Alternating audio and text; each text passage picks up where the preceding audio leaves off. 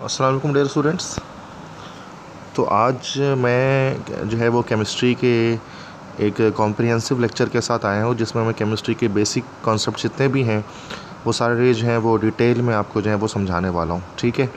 और काफ़ी ज़्यादा लेंथी होने वाला है ये लेक्चर आई डोंट नो कितना वक्त मुझे लगेगा बट मैं केमिस्ट्री के सारे कॉन्सेप्ट जितने भी हैं बेसिक कॉन्सेप्ट आज मैं वो डिस्कस करने वाला हूँ, जो फ़िज़िकल केमिस्ट्री से रिलेट करते हैं। सो फ़र्स्ट है अच्छा थोड़ा फास्ट पेस पर लेकर चलूँगा। ख़ासतौर पर एप्टीट्यूड के जो स्टूडेंट्स हैं, उनके लिए ज़्यादा बेहतर होगा कि वो इस लेक्चर को अगर वॉच करते हैं, ठीक है? तो अपने बेसिक कॉन्सेप्ट को वो बना लेंगे अच्छी तरह से।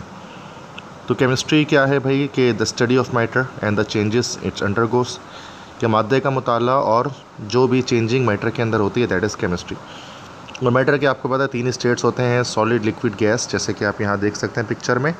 आइसबर्ग है तो ये सॉलिड है और ये पानी मौजूद है यहाँ दैट इज़ लिक्विड और ये ऊपर क्लाउड्स हैं दे आर गैसेस मैटर क्या चीज़ होती है? हर वो चीज़ जो वज़न रखती है, जगह गिरती है, उसको मैटर कहते हैं. जैसे यहाँ पर कुछ मैटर आपको डिफरेंट स्टेट्स में यहाँ पर दिख रहे हैं. अच्छा लाइट और एनर्जी और साउंड हम इनको जो है वो मैटर नहीं कह सकते हैं, वो हम असल में हमारे पास एनर्जी के फॉर्म्स होती हैं. तो मैटर के बारे में अगर और डिटेल में जाएँ तो मैटर एटम से मिलकर बनते हैं. आइटम्स क्या हैं? बिल्डिंग ब्लॉक्स हैं मैटर के. और हर एलिमेंट जो है वो एक ही तरह के एटम से मिलकर बनता है और एक कंपाउंड एक से ज़्यादा तरह के एलिमेंट से मिलकर बनता है। ठीक है? जैसे कि जो है वो अगर आप बात करें कार्बन डाइऑक्साइड की इथेनॉल की तो वो जो है वो आपके पास जो है वो क्या मिलेंगे आपको? कंपाउंड्स मिलेंगे। एलिमेंट जो है वन टाइप ऑफ़ एटम से बनता है। जैसे ऑक्सीजन यहाँ पर चेक करें आप तो ऑक्सीजन जो यहाँ पर होगा that is made up of only one type of item तो ऑक्सीजन एक एलिमेंट है। बाकी वाटर कार्बन डाइऑक्साइड वगैरह ये सब हमारे पास कंपाउंड्स हैं। मैटर के स्टेट, जैसे कि मैंने बताया, तीन स्टेट्स हैं। सॉलिड है, लिक्विड है, गैस है। ठीक है? और इनमें कन्वर्जन भी हो सकती है। गैस को कूल किया जाए, लिक्विड बनता है, लिक्विड को और कूल कर दें, सॉलिड बन जाता है। सॉलिड को हीट करेंगे, लिक्विड बनेगा, और लिक्विड को और हीट करेंगे, वो जो है, वो आखिरकार गैस में कन्वर्ट हो जाएगा। ठीक है? कुछ एम हैं यहाँ पर, उसको देखते हैं। Which one of the following properties is characteristic of a gas तो गैस की कैरेक्टरिस्टिक क्या होती है? तो ये हमारे पास हो जाएगा। ए कंप्रेसेबल वो कंप्रेस हो सकता है. नेक्स्ट है which one of the following party properties is not characteristic of a solid इनमें से क्या सॉलिड की कैरेक्टरिस्टिक नहीं है? तो इसमें से कौन सी कैरेक्टरिस्टिक नहीं हो सकती है? तो ये सॉलिड जो है, वो उनके कंप्रेसिबल नहीं होते तो ए हो जाएगा. क्वेश्चन थ्री है which one of the following properties characteristic of a gas इसमें से कौन सी गैस की कैरेक्टरिस्टिक है? तो गैस की कैरेक्टरिस्टिक ये है कि वो जो है वो उनका नो फिक्स शेप उनका कोई फिक्स शेप नहीं होता। नेक्स्ट क्वेश्चन है which one of the following has the lowest density तो गैस की लोएस्ट डेंसिटी होती है। मैटर की क्लासिफिकेशन की बात की जाए अगर तो when we talk about the classification of matter तो मैटर में हम पहले ये देखते हैं कि is it uniform throughout क्या ये जो मैटर है, ये थ्रू आउट यूनिफॉर्म है? ठीक है। अगर वो मैटर थ्रू आउट यूनिफॉर्म होगा मतलब सेम कंपोजिशन रखेगा तो या तो नहीं रखेगा तो नहीं रखेगा तो फिर हेट्रोजीनस मिक्सचर है, जैसे मर्ड की बात करें। पानी में अगर आप मिट्टी घोल दें तो ये मर्ड जो है, वो एक हेट्रोजीनस मिक्सचर होता है, जिसको हम सस्पेंशन भी कहते हैं। और अगर ये कंपोजिशन इसकी जो है यूनिफॉर्म थ्रू आउट तो फिर वो होमोजीनस होगा। जैसे यहाँ पर आप देख सकते हैं बॉटल के अंदर जो लिक्विड मौजूद है, वो बिल्कुल सेम एक ही स्टेट में मौजूद है।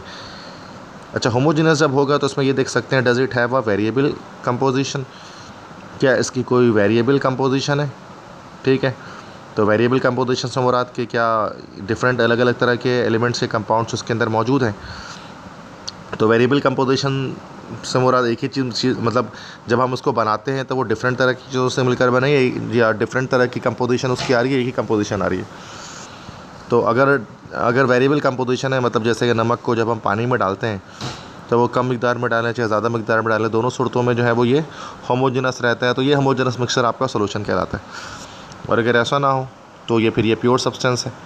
तो जैसे कि वाटर पानी, वो एच टू और ओ के मिलाप से ही बनेगा और सेम एक फ़िक्स पोजीशन में ही उनको मिलाया जाएगा। अच्छा प्योर सब्सटेंस की बात करेंगे तो क्या प्योर सब्सटेंस को और ज़्यादा हम सेपरेट कर सकते हैं? सिंपल सब्सटेंसेस में। अगर सेपरेट कर सकते हैं तो फिर वो कंपाउंड है, जैसे वाटर और नहीं सेपरेट कर सकते हैं उस प्योर सब्सटेंस को देन वो एलिमेंट है। तो ये कंप्लीट जो है, वो चार्ट है, जो आपको बताता है कि what is the difference between a solution a suspension an element and a compound ठीक है तो यहाँ पर जो है वो हमने मिक्सचर्स और कंपाउंड्स के बारे में देखा कि क्या मिक्सचर्स हैं, क्या कंपाउंड्स हैं। इनके बारे में अभी हमने जो है वो बात की है।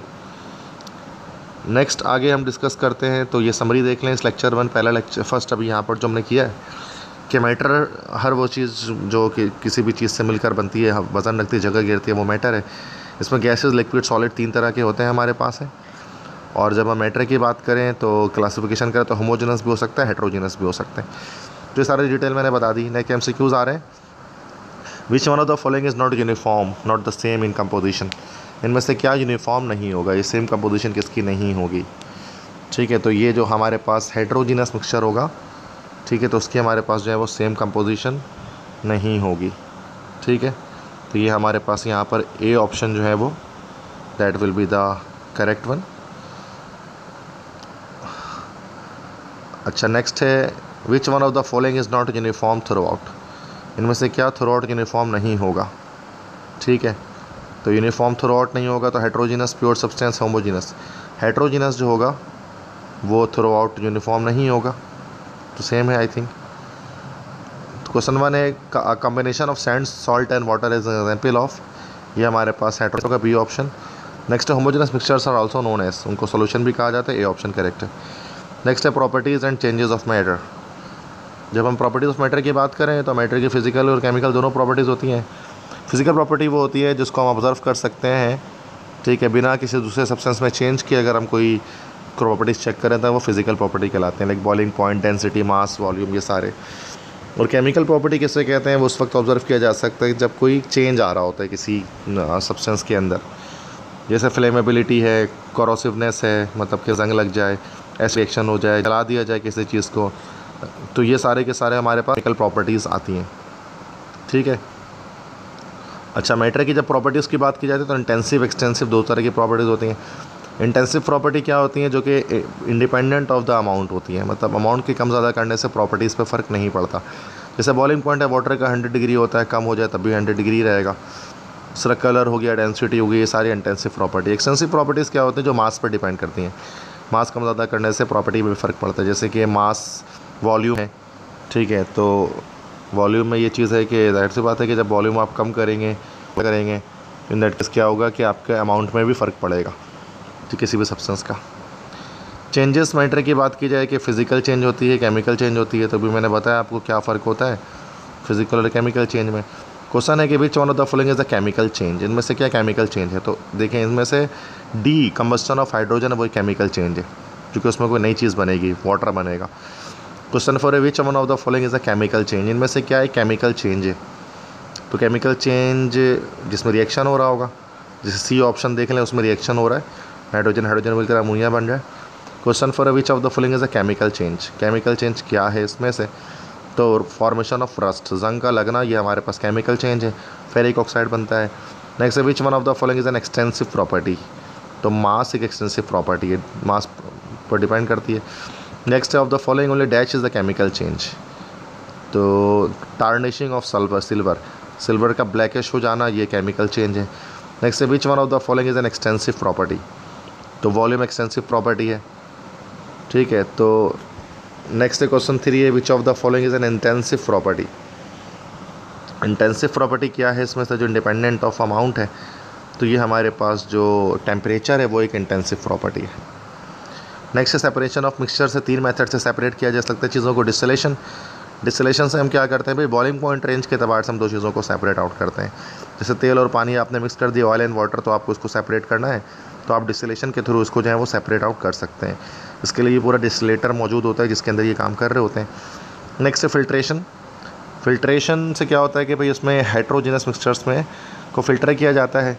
मतलब सॉलिड और लिक्विड अगर आप मिक्स किए गए हैं तो फिर हाइड्रोजिनस मिक्सचर में तो उनको सेपरेट करने के फिल्ट्रेशन होता है। फ़िल्टर पेपर यूज़ किया जाता है तो ऊपर जो बच जाता है, आपके पास रेजिड्यू होता है और जो नीचे कॉनिकल फ्लास्क में आ जाता है, वो आपके पास फिल्ट्रेट कहलाता है।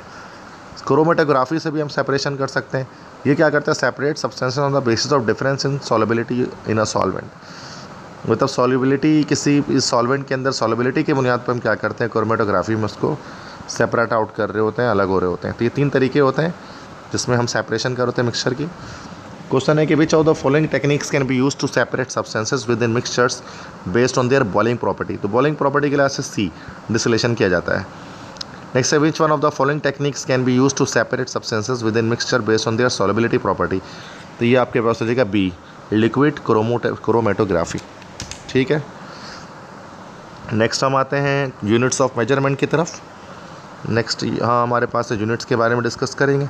आपको पता है ऐसा यूनिट्स होते हैं और हमारे पास जो है वो ऐसा यूनिट सिस्टम इंटरनेशनल होते हैं, जिसमें सात क्वांटिटीज़ होती है mass length time temperature amount of substance electric current luminance intensity इन सब के यूनिट्स के नेम और एप्रीविएशन यहाँ पर लिखे हुए तो वो just you have to remember this ठीक है? सात ऐसा यूनिट होते हैं। ठीक है? तो यहाँ पर वो सातों ऐसा यूनिट्स यहाँ पर लिख दिए गए हैं। सिस्टम इंटरनेशनल यूनिट्स कहते हैं उसको एम के एस बी सी को कहा जाता है। ठीक है। मैट्रिक सिस्टम किससे कहता है? मैट्रिक सिस्टम में टेन के लिहाज से जो है वो काम कर रहे होते हैं। बेस टेन की सूरत में जो है ना वर्किंग कर रही होती है मेज़रमेंट की जा रही होती है। इसमें कुछ बहुत सारे हमारे पास प्रिफिक्सेस होते हैं। जैसे kilo centi milli micro nano तो इन सब की एब्रीवेशंस और इस सब के जो हैं वो यहाँ पर एक्सपोनेंट्स देख सकते हैं आप उसमें और कितने मीटर के बराबर है। तो वो यहाँ पर मौजूद है। जो गैगा के उसके बराबर है mega kilo deci centi milli micro nano pico femto तो ज़्यादातर जैसे हम बहुत छोटे गैगा मैगा इस्तेमाल नहीं करते हैं फेमटो पीको निनो इस्तेमाल नहीं करते बाकी बीच में जो micro milli centi deci kilo ये इस्तेमाल कर रहे हो। तो सेंटी मतलब हंड्रेड मिली मतलब थाउज़ेंड डेसी मतलब टेन किलो मतलब थाउज़ेंड तो सिंपल इस तरह से आप इसको याद रख सकते हैं। ठीक है? वॉल्यूम किससे कहते हैं? वॉल्यूम क्या कहलाता है भाई? तो volume is the space occupied by body और वॉल्यूम के लिए हम क्या यूज़ करते हैं? लीटर को इस्तेमाल करते हैं।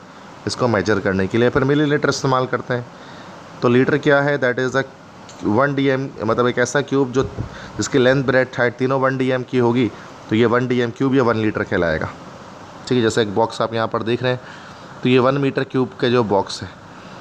ठीक है तो यहाँ पर इसके लेंथ इसकी ब्रेथ इसकी हाइट जो है वो, ये सब जो है वो वन डी एम क्यूब की यहाँ पर जो है वो मौजूद है।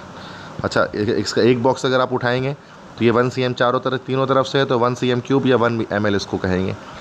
ठीक है तो ये पिक्टोरियल रिप्रेजेंटेशन मैं आपको दिखा रहा हूँ वॉल्यूम की। क्वेश्चन है which of the following is not true about the litre it is S I base unit for volume it is smaller than one M L it is equivalent to C M cube not true about ठीक है। तो C तो सही है सही। A B and C are all not correct D D होगा, ये चारों ही गलत हैं ये। तीनों ही गलत हैं sorry next which of the following is not an S I unit litre metre kelvin second तो लीटर ऐसा यूनिट नहीं है। Which of the following is not an S I unit तो A M U metre kelvin second तो यहाँ पर जो ए M you है, वो ऐसा यूनिट नहीं है। Which of the following is equal to one gram per litre one gram per litre जो है वो किसके बराबर होगा? ठीक है। तो वन ग्राम पर लीटर है तो यहाँ पर वन मिलीग्राम पर मिलीलीटर हो गया, वन पिकोग्राम पर मिलीलीटर हो गया, वन नैनोग्राम पर मिलीलीटर हो गया, वन माइक्रोग्राम पर मिलीलीटर हो गया। क्योंकि थाउज़ेंड का लीटर आ गया ना तो एक लीटर में थाउज़ेंड एम होते हैं। तो ये हमारे पास थाउज़ेंड ग्राम तो one milligram per millilitre A option जो है वो यहाँ पर करेक्ट हो जाएगा। Question five which of the following is equal to one milligram per millilitre. तो अब यहाँ पर फिर यही कि थाउज़ेंड का फिर रेशो आ जाएगा। तो नेक्स्ट है, एक रेनोमीटर कितने पिकोमीटर के बराबर होता है? तो ऊपर ऐसे प्रिफिक्स से आप देख सकते हैं।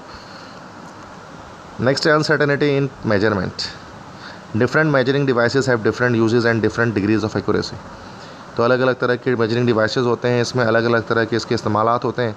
और अलग अलग तरह की एक्यूरेसी बता रहा होता है। जैसे ग्रेजुएटेड सिलेंडर है सिरिंज है ब्यूरेट है पाइपेट है वॉलोमेट्रिक फ्लास्क है, इन सब के डिफरेंट डिफरेंट इस्तेमाल होते हैं। टेम्परेचर है तो degree of hotness and coldness ऐसा सिस्टम में कैलविन वैल्यू होती है कैलविन से सेंटीग्रेड पे जाना है तो सेंटीग्रेड को two seventy three point one five से ऐड कर देते हैं। ठीक है? तो ये आपके सामने कैलविन स्केल आपको दिख रहा है, और देन सेल्सियस स्केल भी होता है, और फॉरन हाइट स्केल भी हमारे पास होता है। वाटर इस तरह से वाटर की freezing point zero degree centigrade होती है। कैलविन में टू सेवेंटी थ्री कैलविन और फॉरन हाइट में thirty two degree Fahrenheit normal body temperature आपका थर्टी सेवन डिग्री सेंटीग्रेड होता है और ये फॉरन हाइट में नाइन्टी एट पॉइंट सिक्स होता है और ये इसमें थ्री टेन किलो कैलविन होता है। जैसा पानी के boiling point hundred degree centigrade है तो फॉरन हाइट में two one two degree Fahrenheit है और कैलविन में थ्री सेवेंटी थ्री कैलविन हो जाएगी। और ग्रेजुएशन की जब आप बात करते हैं ना तो कैलविन और सेल्सियस में आप देखें हंड्रेड एंड डिग्री होते हैं। लेकिन यही फॉरन हाइट में बात करें तो वन एटी डिग्रीज़ होती हैं। तो ये ज़्यादा सेंसिटिविटी इसकी हम कह सकते हैं फॉरन हाइट स्केल की होती है। तो साइफोरानेट स्केल को हम साइंटिफिक मेज़रमेंट में इस्तेमाल नहीं करते क्लिनिकल पर्पसेस में इसको हम इस्तेमाल करते हैं। और ये फार्मूलेज यहाँ पर मौजूद हैं इसकी कन्वर्जन करने के लिए। तो क्वेश्चन है कि which of the following can be use to correctly convert between degree centigrade and Kelvin तो ये पी ऑप्शन इसमें जो है वो मैंने बताया, ये करेक्ट होगा।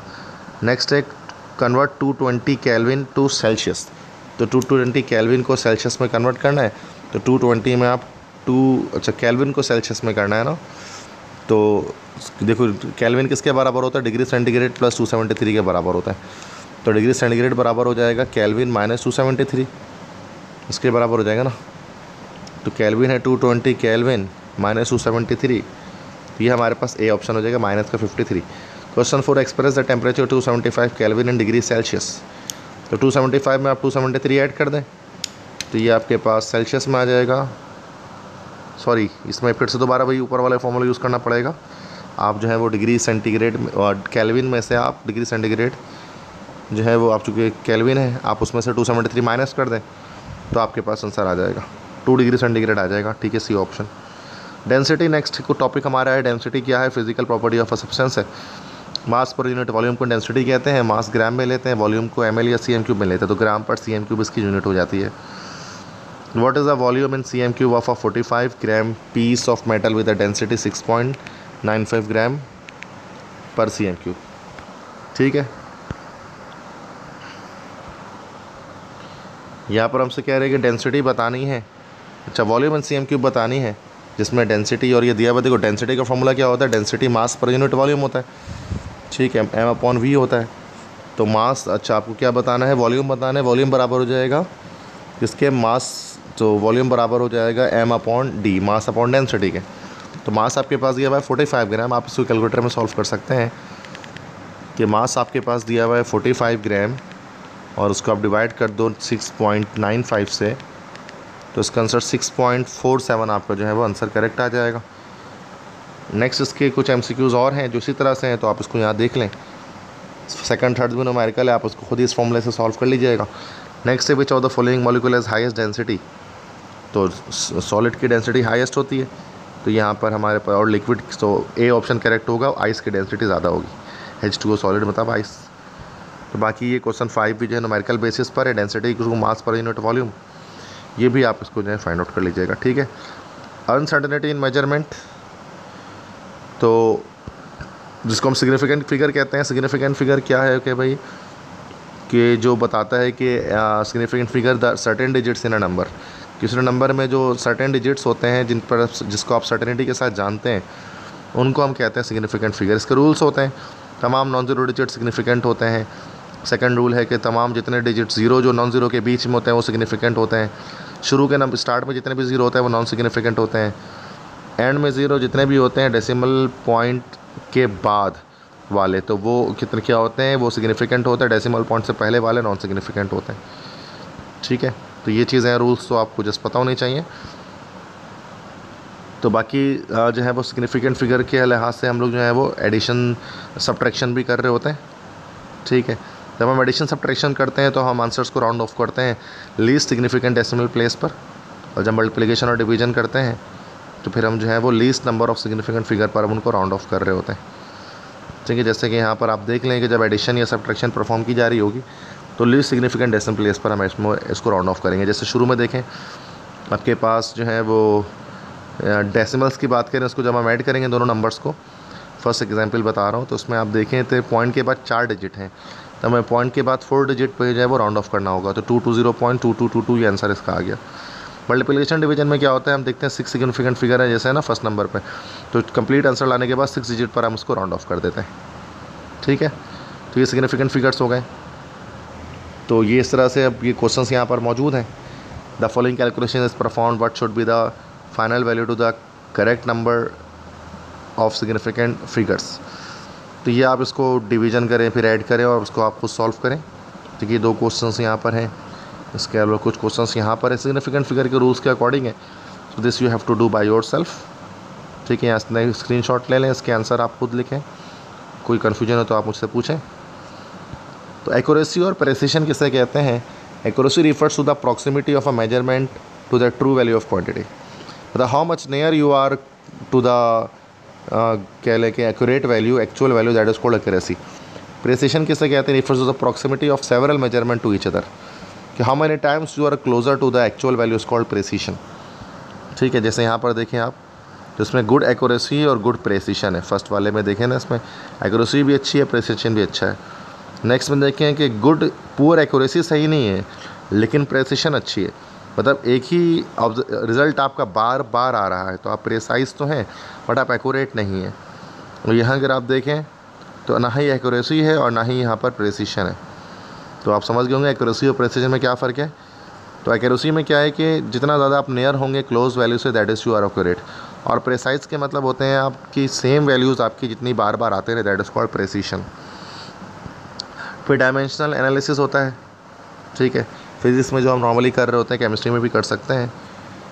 तो इसमें हम लोग जो हैं, वो जैसे कन्वर्जन यहाँ पर बता रहे सेंटीमीटर को फीट में कन्वर्ट करना है। तो एक सेंटीमीटर में कितने फीट होते हैं तो हमें पता है कि एक इंच में two fifty foot two point five four centimetre होते हैं और बारह इंच का एक फुट होता है। तो हम इस तरह से इसमें जो है, वो कन्वर्जन कर सकते हैं। तो यहाँ पर कुछ कन्वर्जन्स के हवाले से जो है, वो दिए गए हैं क्वेश्चंस तो this you have to convert it ठीक है, कुछ क्वेश्चन हैं यहाँ पर, इनको आपको सॉल्व करें। नेक्स्ट उसके बाद एटम पर डिस्कस करते हैं the nuclear atom subatomic particles तो protons and electrons are the only particle that have a charge nucleus में आप जानते हैं कि अच्छा एटम के अंदर प्रोटॉन्स इलेक्ट्रॉन्स वाहिद पार्टिकल होता है, जिनका चार्ज होता है। प्रोटॉन्स और न्यूट्रॉन्स का जो है, वो एसेंशियली द सेम मास होता है थोड़ा सा डिफरेंस होता है। और the mass of an electron is so small we ignore it तो बहुत छोट, कम मास होता है इलेक्ट्रॉन का। और ए एम यू जो है वो बराबर किसके होता है? That is one point six six into ten की power minus twenty four gram तो ये आपके लिए बड़ा इंपॉर्टेंट है कि उस पॉइंट को आप नोट कर लें कि एक ए एम यू जो है वो बराबर होता है one point six six into ten to the power minus twenty four gram के। और एटम का डायमीटर एक से पाँच एंगस्ट्रॉम के बीच में होता है। एक एंगस्ट्रॉम टेन की पावर माइनस वन मीटर के बराबर होता है। बाकी है प्रोटॉन न्यूट्रॉन इलेक्ट्रॉन के चार्ज और मासेस यहाँ पर मेंशन कर दिए गए हैं। सिंबल एलिमेंट की जब हम बात करते हैं तो एलिमेंट का सिंबल अल्फ़ाबेटिकल ऑर्डर में होता है। नीचे जो छोटा नंबर लिखा होता है अटोमिक नंबर होता है। बड़ा नंबर जो ऊपर लिख ऊपर जो छोटा नंबर लिखा होता है, वो मास नंबर होता है। अटोमिक नंबर है प्रोटॉन्स या इलेक्ट्रॉन्स की तादाद बताता है। मास नंबर प्रोटॉन्स और न्यूट्रॉन्स की मजमू तादाद को बताता है। तो एलिमेंट्स के सिंबल कभी कभार वन होते हैं, कभी टू होते हैं। जैसे सी कार्बन का है सी यू कॉपर का हो जाएगा। एटॉमिक नंबर का मैंने बता दिया कि सेम एटम्स के हमेशा सेम एटॉमिक नंबर होता है। जेड से डिनोट करते हैं। Atomic mass that is proton plus neutron होता है। ठीक है? तो इसको एटॉमिक मास कहते हैं। मास नंबर भी उसको हम कहते हैं। आइसोटोप्स किसे कहते हैं? आइसोटोप सेम एलिमेंट्स के डिफरेंट जब एलिमेंट्स के सेम एटॉमिक नंबर और डिफरेंट एटॉमिक मासेस हों तो उनको हम आइसोटोप्स कहते हैं। और आइसोटोप्स किस वजह से बनते हैं? न्यूट्रॉन्स के अंदर तब्दीली की वजह से। जैसे कार्बन के यहाँ पर चार आइसोटोप आपको दिख रहे हैं, सबके एटॉमिक नंबर सिक्स हैं, लेकिन सबके मास नंबर्स डिफरेंट हैं। और मास नंबर क्यों डिफरेंट हो रहे हैं? चूँकि सब में number of protons sorry number of neutrons different हो रहे हैं। हाइड्रोजन के तीन आइसोटोप होते हैं प्रोटियम ट्रिटियम और ट्रीटियम तीन आइसोटोप हमारे पास हाइड्रोजन के होते हैं। एवरेज मास किसे कहते हैं कि हम एवरेज मास को कैलकुलेशन में इस्तेमाल करते हैं नॉर्मली और हम एबेडेंस के लिहाज से एवरेज मास को कैलकुलेट कर रहे होते हैं। जैसे कि क्वेश्चन एक आया हुआ यहाँ पर देख लेते हैं इसको। एक एलिमेंट है, उसके तीन नेचुरली अकरिंग आइसोटोप्स हैं। एक्स फिफ्टी वन है फिफ्टी और फिफ्टी फाइव है। तो एक टेन पॉइंट थर्टी परसेंट है, जिसका mass fifty five point three है। एक sixty nine point one five जिसका मास इतना है, एक twenty point double five percent है। अगर एवरेज अटोमिक मास आपको मालूम करना है एलिमेंट का तो आप क्या करेंगे? आपको क्या करना पड़ेगा कि भाई आपको जस्ट जो भी मास है, उसको डिवाइड करना पड़ेगा, उसके अबेंडेंस से देन ऐड करना पड़ेगा सेकंड वाले से।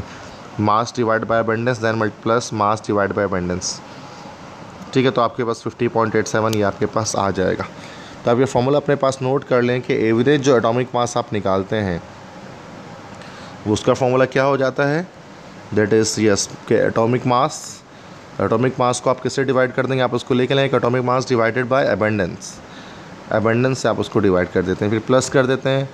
फिर जितने भी आपके पास एटम्स हैं उन सबसे आप उसको इस तरह से कर सकते हैं। हंड्रेड परसेंट होना चाहिए मतलब ये तीनों मिलाकर हंड्रेड किसी के दो आइसोटोप होते किसी के तीन, किसी के चार।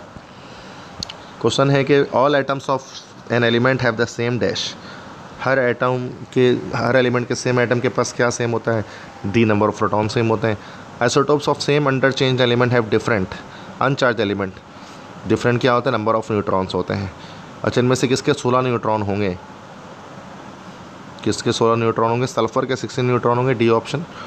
नेक्स्ट है कि यहाँ पर फिर ये एवरेज एटॉमिक मास निकालने को कहा जा रहा है। फॉर्मूला मैंने बता दिया कि किस तरह से आप उसको निकालेंगे। नेक्स्ट है which of the following item है सेवन न्यूट्रॉन्स तो सेवन न्यूट्रॉन्स किसके पास होंगे? नाइट्रोजन के पास होंगे। उसके सात प्रोटॉन होंगे, सात न्यूट्रॉन होगा, तभी फोर्टीन उसका मास नंबर है। नेक्स्ट एल फिर वही एटॉमिक मास का फॉर्मूला वो आ गया नोमेरिकल इसको आप सॉल्व कर लीजिएगा। Next which one of the following has the highest number of neutron highest number of neutron किसमें होंगे? जिसका सबसे ज़्यादा मास नंबर होगा calcium forty two which one of the following chemical species is the heaviest mass सबसे heavy मास किसका होगा? तो सबसे हैवी मास आपको पता है एटीन का होगा चूँकि वन वन एट इसका मास नंबर है। Next which of the following item है सिक्सटीन इलेक्ट्रॉन सिक्सटीन इलेक्ट्रॉन किसके होंगे? भाई सल्फ़र के होंगे, जो टॉपिक नंबर सिक्सटीन होता है। Which of the following species eighteen electron eighteen electron किसके होंगे भाई? ये होंगे आपके पास पोटेशियम के होंगे क्या? एटीन, नाइनटीन होता है, नहीं, पोटेशियम के नहीं होंगे, सल्फ़र के सिक्सटीन नहीं होंगे क्लोरीन का नाइन नहीं होगा। क्लोरीन का हो सकता है।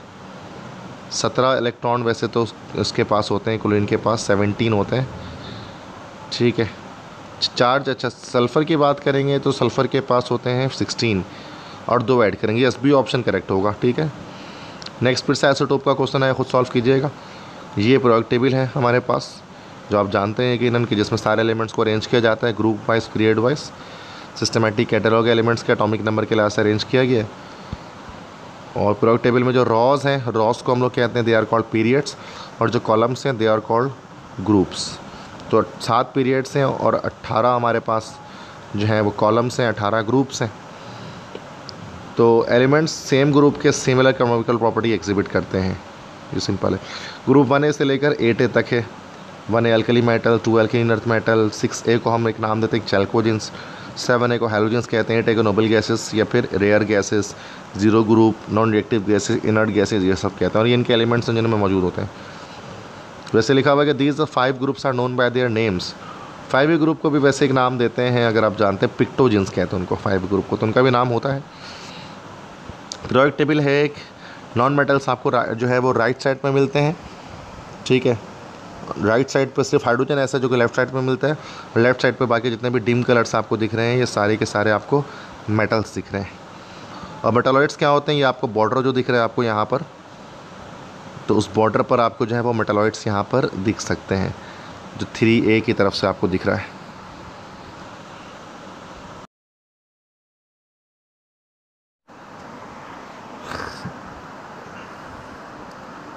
ठीक है तो मेटल्स तो क्या मैंने बता दिया आपको कहाँ पर होते हैं?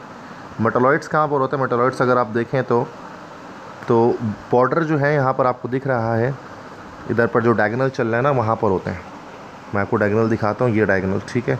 यहाँ पर देख रहे हैं डायगनल के अंदर पर्पल शेड के अंदर जितने भी आ रहे हैं ऑल आर एक्चुअली मेटलॉइड्स जो कि मेटल एंड मेटल के बीच की चीज़ें हमारे पास होते हैं। ठीक है दीज आर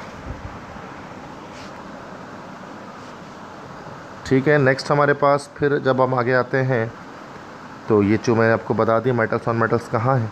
क्वेश्चंस के बाद हमारे पास हैं कि an element that appears in the bottom left corner of the product table bottom left पर जो एलिमेंट होता है, वो क्या होगा भाई? वो हमेशा एक मेटल होगा। तो सी ऑप्शन यहाँ पर हमारे पास करेक्ट हो गया कि वो हमेशा एक मेटल होगा।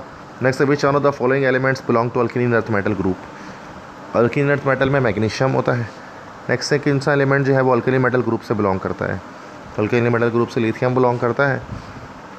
नेक्स्ट कौन सा एलिमेंट हेलोजन ग्रुप से बिलोंग करता है। तो हेलोजन ग्रुप से बिलोंग भाई कौन करता है? हेलोजन ग्रुप से बिलोंग करता है ये हमारे पास आई आयोडीन नेक्स्ट से कौन सा एलिमेंट बिलोंग करता है? हेलोजन ग्रुप से दोबारा से तो फ्लोरीन बिलोंग करता है। नेक्स्ट है which group with in the portable chalcogen chalcogen six group को कहते हैं। ठीक है, वैसे तो किसी यहाँ पर तो कोई भी नहीं आ रहा। तो नॉन ऑफ़ दिस है। कोई भी नहीं है इसमें से। नेक्स्ट है which pair of elements would you expect अच्छा वैसे आई थिंक कि अगर हम उसको देखें तो अगर डी ब्लॉक एलिमेंट्स की बात करें तो उस लिहाज से अगर ये कह रहे हैं तो वन टू टू प्लस उसके बाद फिर एड कर देंगे। फिर प्लस उसके बाद चौथे पे जाकर आता है। फोर्थ पे जाकर आता है ना थ्री है फोर है फाइव तो आठ दो, दस दस और चार, चौदह। सोलह आई थिंक और फिर टेन उसके अंदर पीरियड्स होते हैं ना तो ये आई थिंक सी होगा। ठीक है? Which pair of elements would you expect to show the greatest similarity in their physical and chemical property जो सेम ग्रुप से होंगे, जैसे ऑक्सीजन सल्फ़र ये सेम प्रॉपर्टी शो करेंगे। नेक्स्ट कौन से काइनिक कंपाउंड नहीं होगा? P C L three ionic नहीं होगा बिकॉज़ इसमें मेटल नहीं है। केमिकल फार्मूला जो है, वो किसे कहते हैं? तो केमिकल फार्मूला नेक्स्ट पूछ रहे हैं। केमिकल फार्मूला क्या होता है? तो जब हम किसी भी कंपाउंड को लिखते हैं तो केमिकल फार्मूला के सूरत में लिखते हैं। जैसे वाटर का एच है कार्बन डाइऑक्साइड का सी है छोटा नंबर जो लिखा होता है वो नंबर ऑफ़ एटम्स बता रहा होता है कि किस एलिमेंट के कितने एटम किसी कंपाउंड में मौजूद हैं। ठीक है? मॉलिकुलर कंपाउंड्स क्या होते हैं? वो हमेशा नॉन मेटल से मिलकर बनते हैं मॉलिक्यूल्स पर मुश्तमिल होते हैं। जैसे water carbon dioxide methane oxygen ये सारे। डायटोमिक मॉलिक्यूल्स कुछ हमारे पास होते हैं जो सेम एटम से मिलकर बन जाते हैं, जैसे H two N two O two F two C L two B R two I two ये सारे हमारे पास डायटोमिक मॉलिक्यूल्स हैं। ये सात एलिमेंट्स हैं जो कि डाई जो सात प्रोडक्ट टेबल में जो कि डायटोमिक स्टेट में रहते हैं। फार्मूले तीन तरह के होते हैं। एक मोलिकुलर फार्मूला होता है जो आपको एग्जैक्ट नंबर बताता है किसी भी एटम्स किसी भी कंपाउंड के अंदर जो एलिमेंट्स उनके नंबर ऑफ़ एटम्स के एग्जैक्ट वैल्यू बताता है। जैसे glucose six H twelve O six empirical formula की बात करें तो एक रेशो बता रहा होता है, जैसे जैसे ग्लूकोज के फार्मूले को सिक्स के टेबल से हम कट कर सकते हैं उसके नंबर्स को। तो सी एच टू ओ क्या हो गया? इसका एम्पेरिकल फार्मूला हो गया। तो थर्ड फार्मूला हमारे पास स्ट्रक्चरल फार्मूला होता है, जिसमें हम कोई बॉन्ड वगैरह स्ट्रक्चर बनाकर शो करते हैं। ठीक है? तो वो स्ट्रक्चर हमारे पास यहाँ पर शो हो रहा होता है। जैसे स्ट्रक्चरल फार्मूला हो रहा होता है हमारे यहाँ पर। ठीक है? यहाँ पर एक स्ट्रक्चरल फार्मूला दिख रहा है। इस तरह से ये हमारे पास वेज एंड डैश स्ट्रक्चर जिसको हम कहते हैं, वो दिख रहा है। देन यहाँ पर बॉल एंड स्टिक मॉडल से दिख रहा है। और ये हमारे पास इस फेस फिलिंग मॉडल है। तो ये सारे स्ट्रक्चरल फार्मूला जो स्ट्रक्चर को शो कर रहे हैं। ठीक है? तो ये तीन तरह के फॉर्मूले हैं। एम्पेरिकल है मॉलिकुलर है और स्ट्रक्चरल है। तो which of the following shows the arrangement of atom in a molecule तो वो स्ट्रक्चरल फॉर्मूला शो करता है। Which pair of compound do not have the similar same empirical formula किसका सेम एम्पेरिकल फार्मूला नहीं होगा। तो इनका सेम होगा। सेकंड में भी टू वन ज़ा two two two four four same होगा। बी का अच्छा यहाँ देखो बी है इसका एम्पेरिकल फार्मूला सेम नहीं होगा इन दोनों का। इनमें से कौन सा जो है वो एक एम्पेरिकल फार्मूला है? कौन सा एक एम्पेरिकल फार्मूला है इसमें से? C two H eight O six है C three H nine S two ये है, चूँकि ये किसी सेम टेबल से एक जो है वो नहीं कट सकता। ठीक है? आइंस की बात करेंगे नेक्स्ट आइंस क्या होते हैं भाई?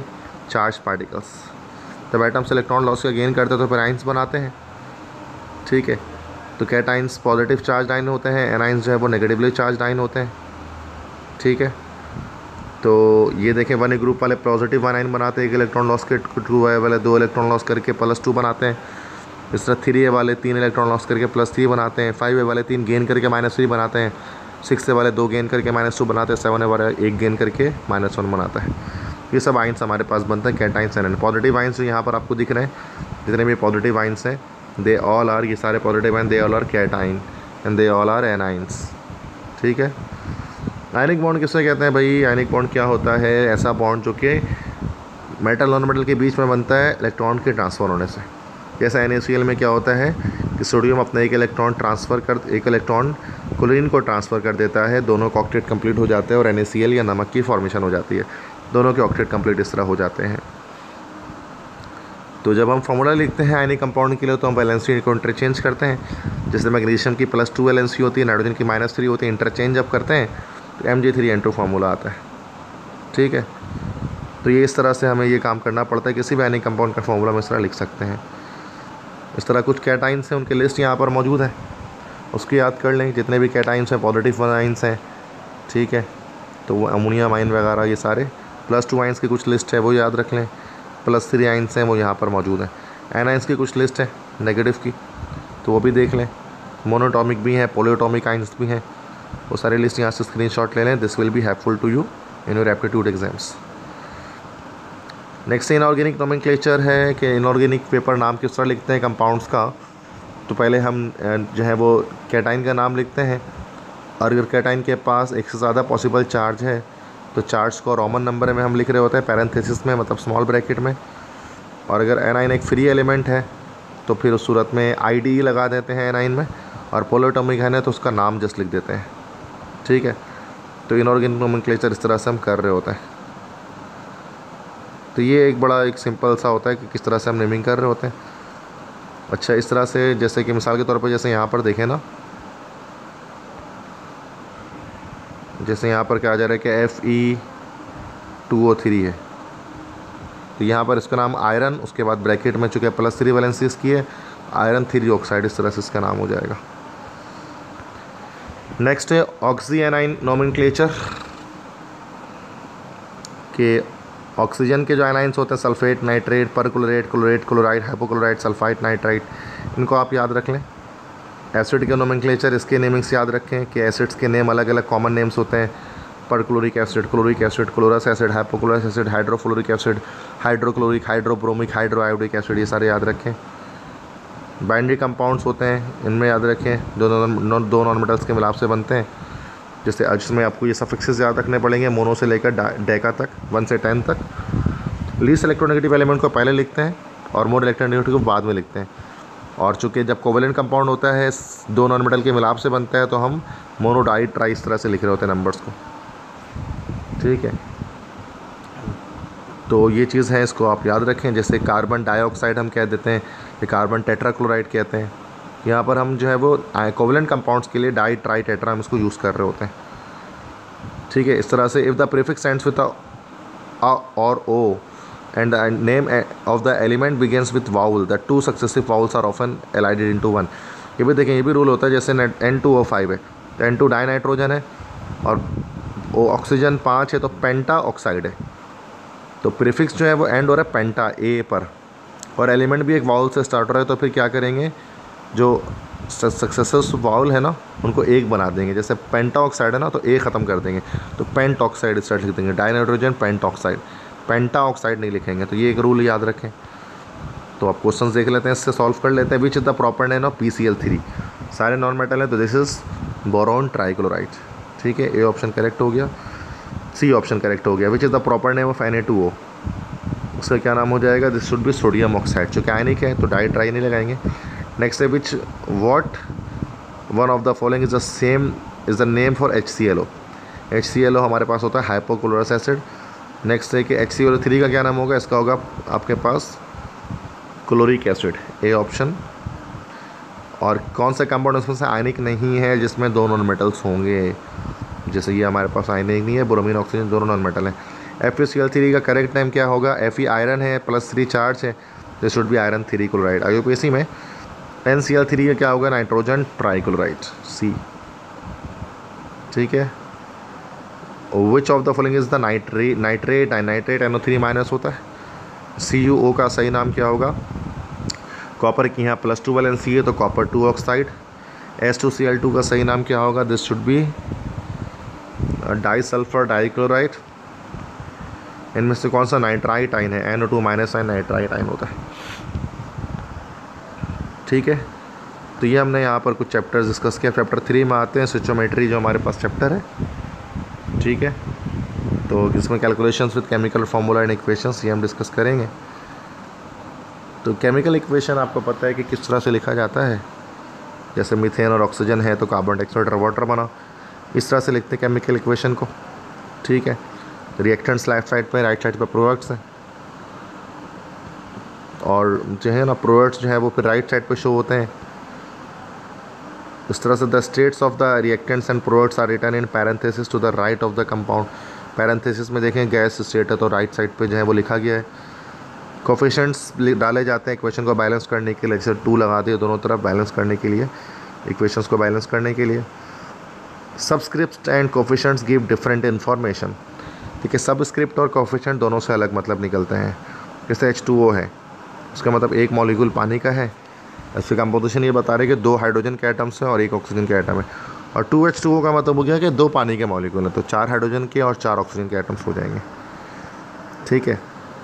तो ये चीज़ मैंने आपको बताई। तो अभी नेक्स्ट इसमें ये कह रहे हैं कि क्वेश्चन यहाँ पर है। टू बैलेंस द इक्वेशन ठीक इक्वेशन दी गई है क्या इसको बैलेंस करने के लिए which number should be the coefficient A B C D replaced with C two H six है प्लस ओ टू है तो यहाँ पर देखें कार्बन टू है कार्बन में टू लगा के यहाँ बैलेंस कर लिया। कार्बन बैलेंस हो गया। हाइड्रोजन सिक्स है हाइड्रोजन टू है, यहाँ पर थ्री लगा दिया। हाइड्रोजन बैलेंस हो गया। ऑक्सीजन की बात करें तो यहाँ पर ऑक्सीजन टू टू ज़ा four and four plus three हमारे पास कितने हो गया चार, पाँच, छः, सात। ठीक है। सात ऑक्सीजन हो गए, यहाँ पर ज़ीरो ऑक्सीजन है। तो यहाँ पर ज़ीरो है तो उसको बढ़ाना पड़ेगा इसका मतलब है हमें। तो सात तो वैसे कर नहीं सकते उसको ठीक है, आठ कर सकते हैं फोटोज़ा एट हो जाएगा। लेकिन एट होने पर क्या होगा कि यहाँ पर भी ऑक्सीजन डिसबैलेंस हो जाएगा। ठीक है तो यहाँ पर जब ऑक्सीजन डिसबैलेंस होगा तो आठ हो गए, यहाँ पर ऑक्सीजन सात है। तो इधर पे हम क्या करते हैं कि यहाँ पर हम इस पर पर क्या कर लेते हैं कि फ़ोर लगा देते हैं। सॉरी, फ़ोर कह रहा हूँ। क्योंकि आठ है ना तो चार तो पहले यहाँ पर है। यस, चार लगा देते हैं, फ़ोर लगा देते हैं। ठीक है, चार और चार आठ। हाइड्रोजन यहाँ पर डिसबैलेंस हो गया अगर आप देखें तो फ़ोटोज़ एट है, यहाँ पर सिक्स हाइड्रोजन है। यहाँ पर टू लगा लिया।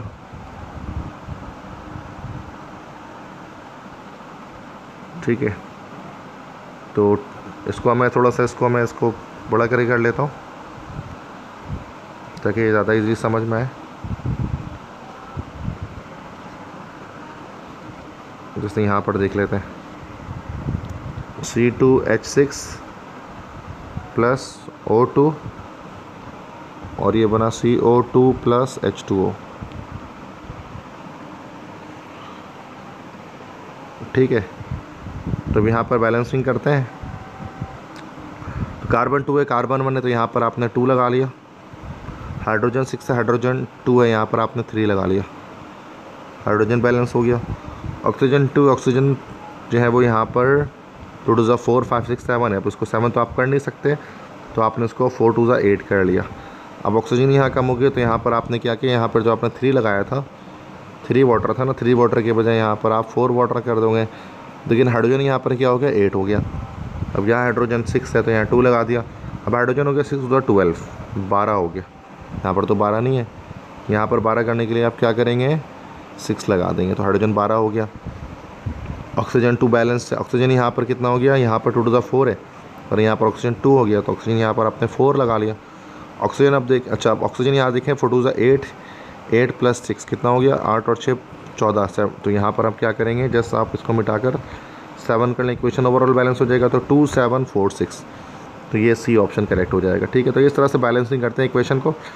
सेवनटीन थी, आप खुद बैलेंस कर लें। एटीन है ये क्वेश्चन भी आप खुद बैलेंस कर लें। नेक्स्ट क्वेश्चन मैं मोलिकुलर वेट्स की तरफ़ आ रहा हूँ। कि मोलिकुलर वेट्स किस, किसे कहते हैं? कि जब तमाम जितने भी आइटम्स होंगे मॉलिक्यूल्स के अंदर, जब उनके एटॉमिक मासेस को ऐड कर दिया जाए तो फिर वो मोलिकुलर वेट बन जाता है। जैसे इथीन इथेन है सी टू एच सिक्स तो यहाँ पर इसको जब ऐड कर देंगे तो ट्वेंटी फोर प्लस सिक्स यहाँ पर थर्टी इसका मोलिकुलर वेट बन जाएगा। परसेंटेज कंपोजिशन या मास परसेंटेज किसे कहते हैं? कि one can find the percentage of the mass of a compound that comes from each of the elements in the compound by using this equation के number of के percentage कैसे निकालेंगे? कि number of items multiply by atomic weight divide by molecular weight of compound multiply by hundred इससे आपको पता लग जाता है कि परसेंटेज किसी एलिमेंट की कितनी है, किसी भी कंपाउंड के अंदर। ठीक है? तो अगर एक ही होगा वैसे तो उसमें हम जस्ट क्या करते हैं कि atomic weight divide by formula weight multiply by hundred हम उसको कर देते हैं तो किसी एक आइटम का हमें पता लग जाता है। ये फार्मूला आप इसको याद रखें कि परसेंटेज हम किस तरह से फाइंड आउट करते हैं। तो परसेंटेज ऑफ़ एलिमेंट के लिए आप जो है वो नंबर ऑफ़ आइटम्स हैं, उसको आप पहले आप मल्टीप्लाई करते हैं किससे? एटॉमिक वेट से। जो भी एटॉमिक वेट है, जो उस एलिमेंट का और साथ में जो फार्मूला वेट है, जो मोलिकुलर वेट है जो आपके पास कंपाउंड का, उससे आप उसको डिवाइड करके हंड्रेड से मल्टीप्लाई कर देते हैं। ठीक है नेक्स्ट आगे बढ़ते हैं। परसेंटेज कंपोजिशन तो अगर हम यही अगर हम देखें, जैसे कार्बन है। कार्बन की परसेंटेज कितनी है सी टू एच सिक्स में? तो टू से मल्टीप्लाई कर दिया हमने, जो है उसके फार्मूला वेट को। तो हाइड्रोजन छः है। ठीक है तो हाइड्रोजन का हो गया हम अच्छा कार्बन का बताना तो कार्बन का हमारे पास ट्वेल्व होता है एटॉमिक मास ठीक है। वैसे ही यहाँ पर जो है, वो फॉर्मूले में जो हमने यहाँ पर लिखा है ना number of atoms multiply by atomic weight तो हम डायरेक्ट ट्वेंटी फोर उस तरह से भी लिख सकते थे कि टू सी टू है तो ट्वेंटी फोर है। तो डिवाइड बाय इसको थर्टी से हमने किया मल्टीप्लाई बाई हंड्रेड तो seventy nine point nine percent आ गया। तो इस तरह से हम निकाल रहे होते हैं किसी भी कंपाउंड का। तो यहाँ पर जैसे कि the mass percent of carbon methane के अंदर कितना है वो निकाल लें। इस तरह C four C forty seven H nine fifty one N O fourteen इसका मोलिकुलर वेट निकालना है तो आप इसको कैलकुलेट करके आप निकाल लें। नेक्स्ट है नाइट्रोबेंजीन का फॉर्मूला ये है मोलिकुलर वेट इस कंपाउंड का कितना होगा, ये भी आप फाइंड आउट करें। कंपाउंड है, ये दिया हुआ है, इसमें परसेंटेज बतानी है टोटल कार्बन्स की।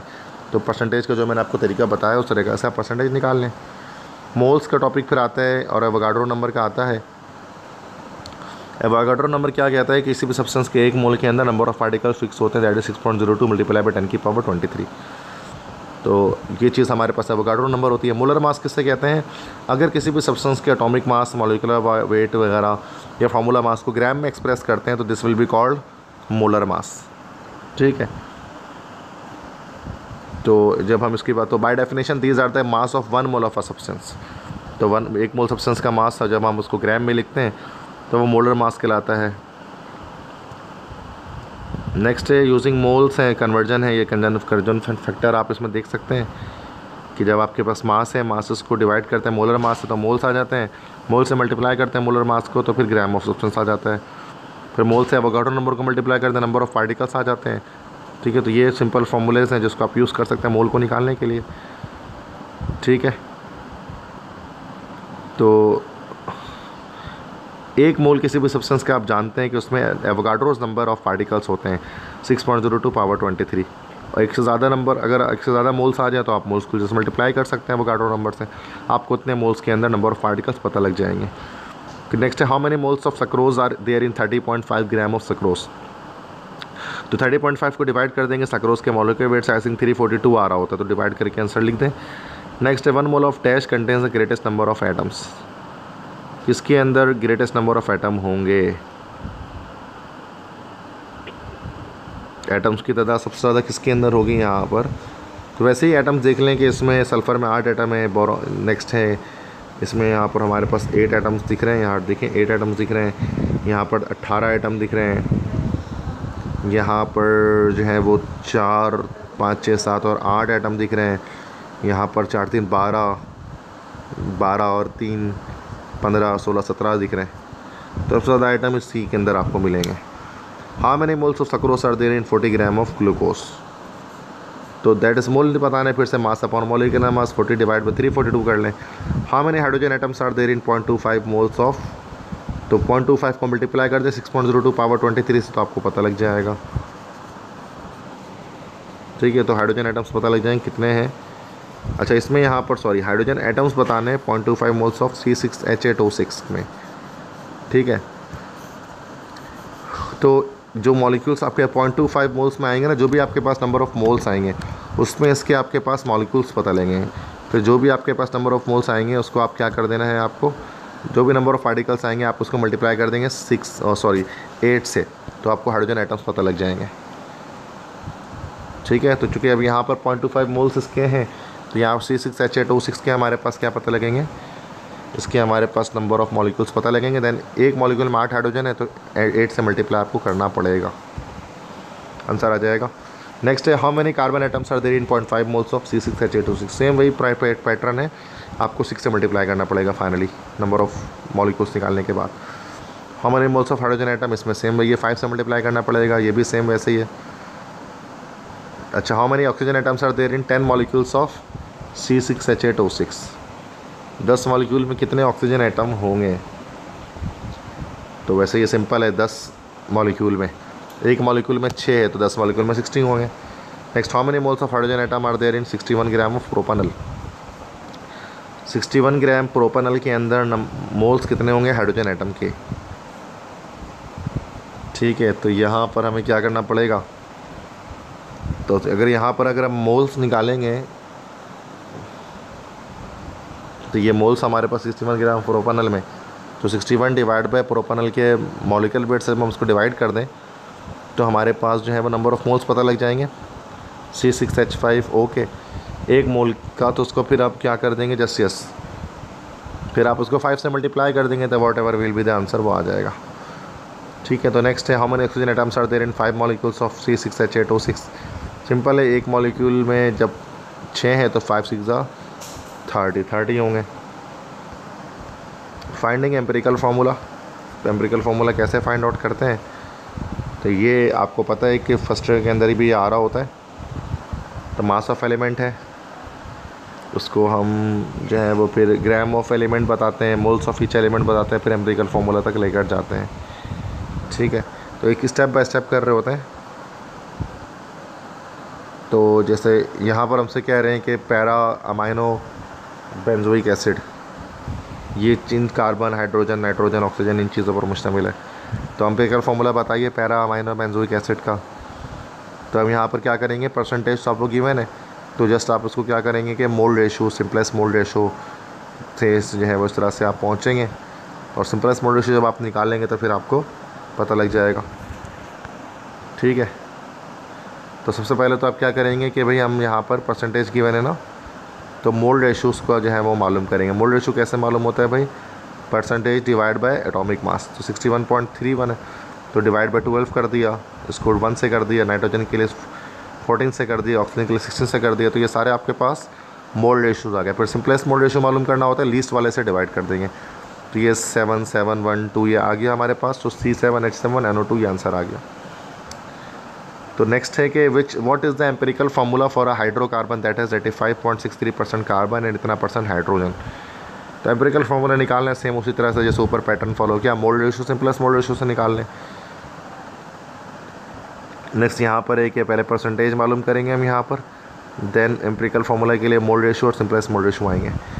ट्वेंटी टू में क्या है कि भाई सेम वही है। पहले परसेंटेज मालूम हुआ, फिर मोल्ड रेशो फिर simplest mole ratio then empirical formula तक पहुँचेंगे। यहाँ पे भी ट्वेंटी टू भी सेम ऐसी सवाल है। देन उसके बाद सचोमेट्री कैलकुलेशन हमारे पास होती है, जिसको सचोमेट्री कहते हैं। इसके अंदर हमारे पास क्या होता है कि इक्वेशंस के ज़रिए हम मालूम करते हैं।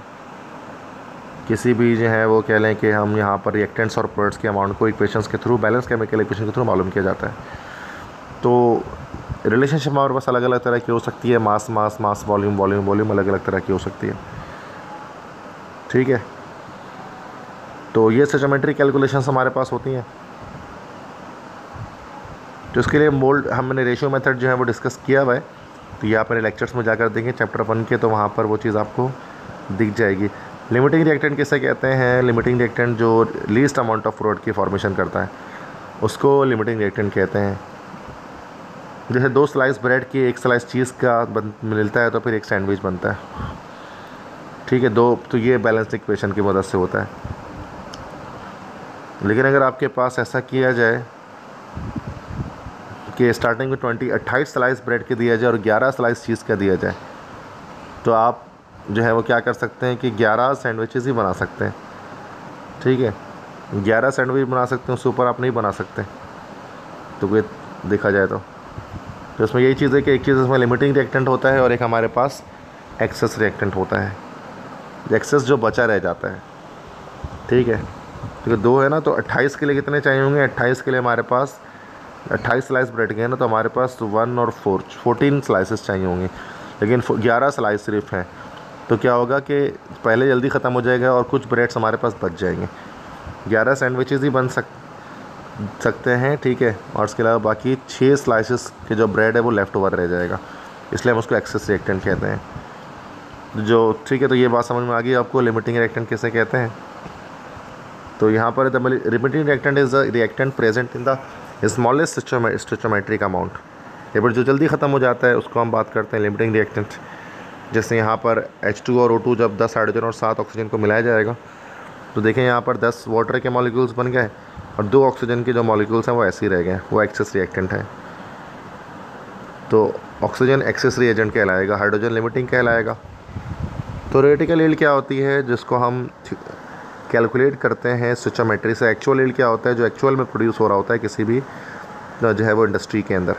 परसेंटेज किस, किसे कहते हैं? भाई परसेंटेज ईल्ड की कितना परसेंट आपको ईल्ड हासिल हुआ है? तो उसके लिए एक्चुअल ईल्ड में से थ्योरेटिकल ईल्ड को डिवाइड करके हंड्रेड से मल्टीप्लाई करते हैं। आपको पता लग जाता है कि एक्चुअल ईल्ड कितना आपके पास हुआ है। नेक्स्ट है 200 ग्राम ब्यूटेन है कम्बसन किया जा रहा है 20 ग्राम ऑक्सीजन से। और उसको रिप्रेजेंट किया जा रहा है इस इक्वेशन से विच रिएक्टेंट इज़ लिमिटिंग ये आपके पास क्या करना? है न्यूमेरिकल्स हैं वो न्यूमेरिकल्स आप खुद सॉल्व करें। ठीक है।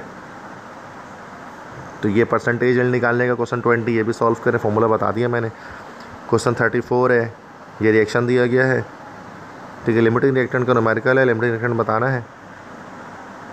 और ये next question question thirty one जो आपके पास है, ये भी लिमिटिंग रिएक्टेंट का सवाल है। परसेंटेज बतानी है। ये आंसर्स यहाँ पर जो है वो मैंने यहाँ पर शो किए हैं। मैं ये आप जब आंसर्स निकाल लें तो यहाँ से आप उसको मैच कर लें, ठीक है? तो लेक्चर काफ़ी लॉन्ग हो जाएगा तो इसलिए मैं ज़्यादा डिटेल में नहीं जाना चाह रहा इसके। फिर काफ़ी सारी चीज़ें डिस्कस करनी है। फोर डबल एट स्लाइड्स हैं जो मुझे करानी है। वन थर्टी थ्री स्लाइड्स पर पहुँचे।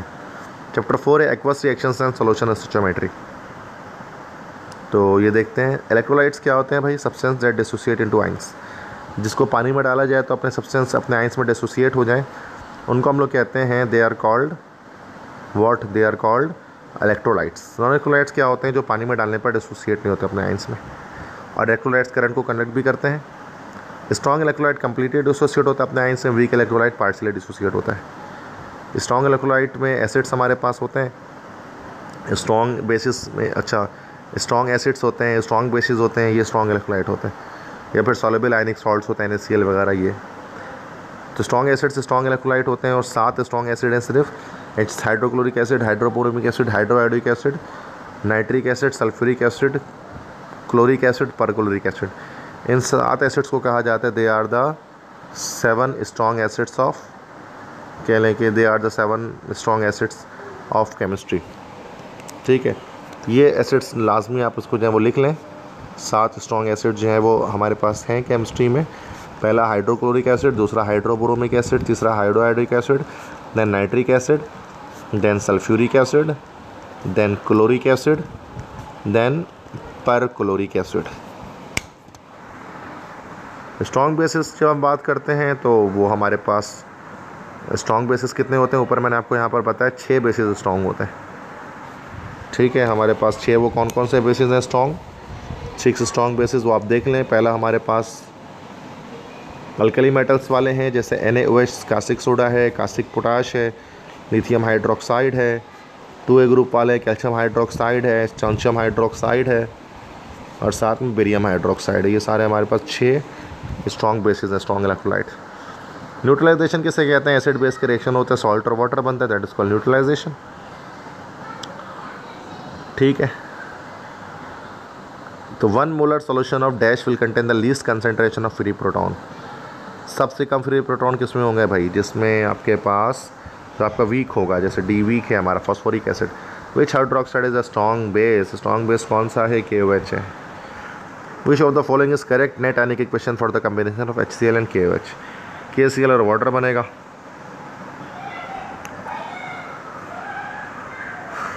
अच्छा यहाँ पर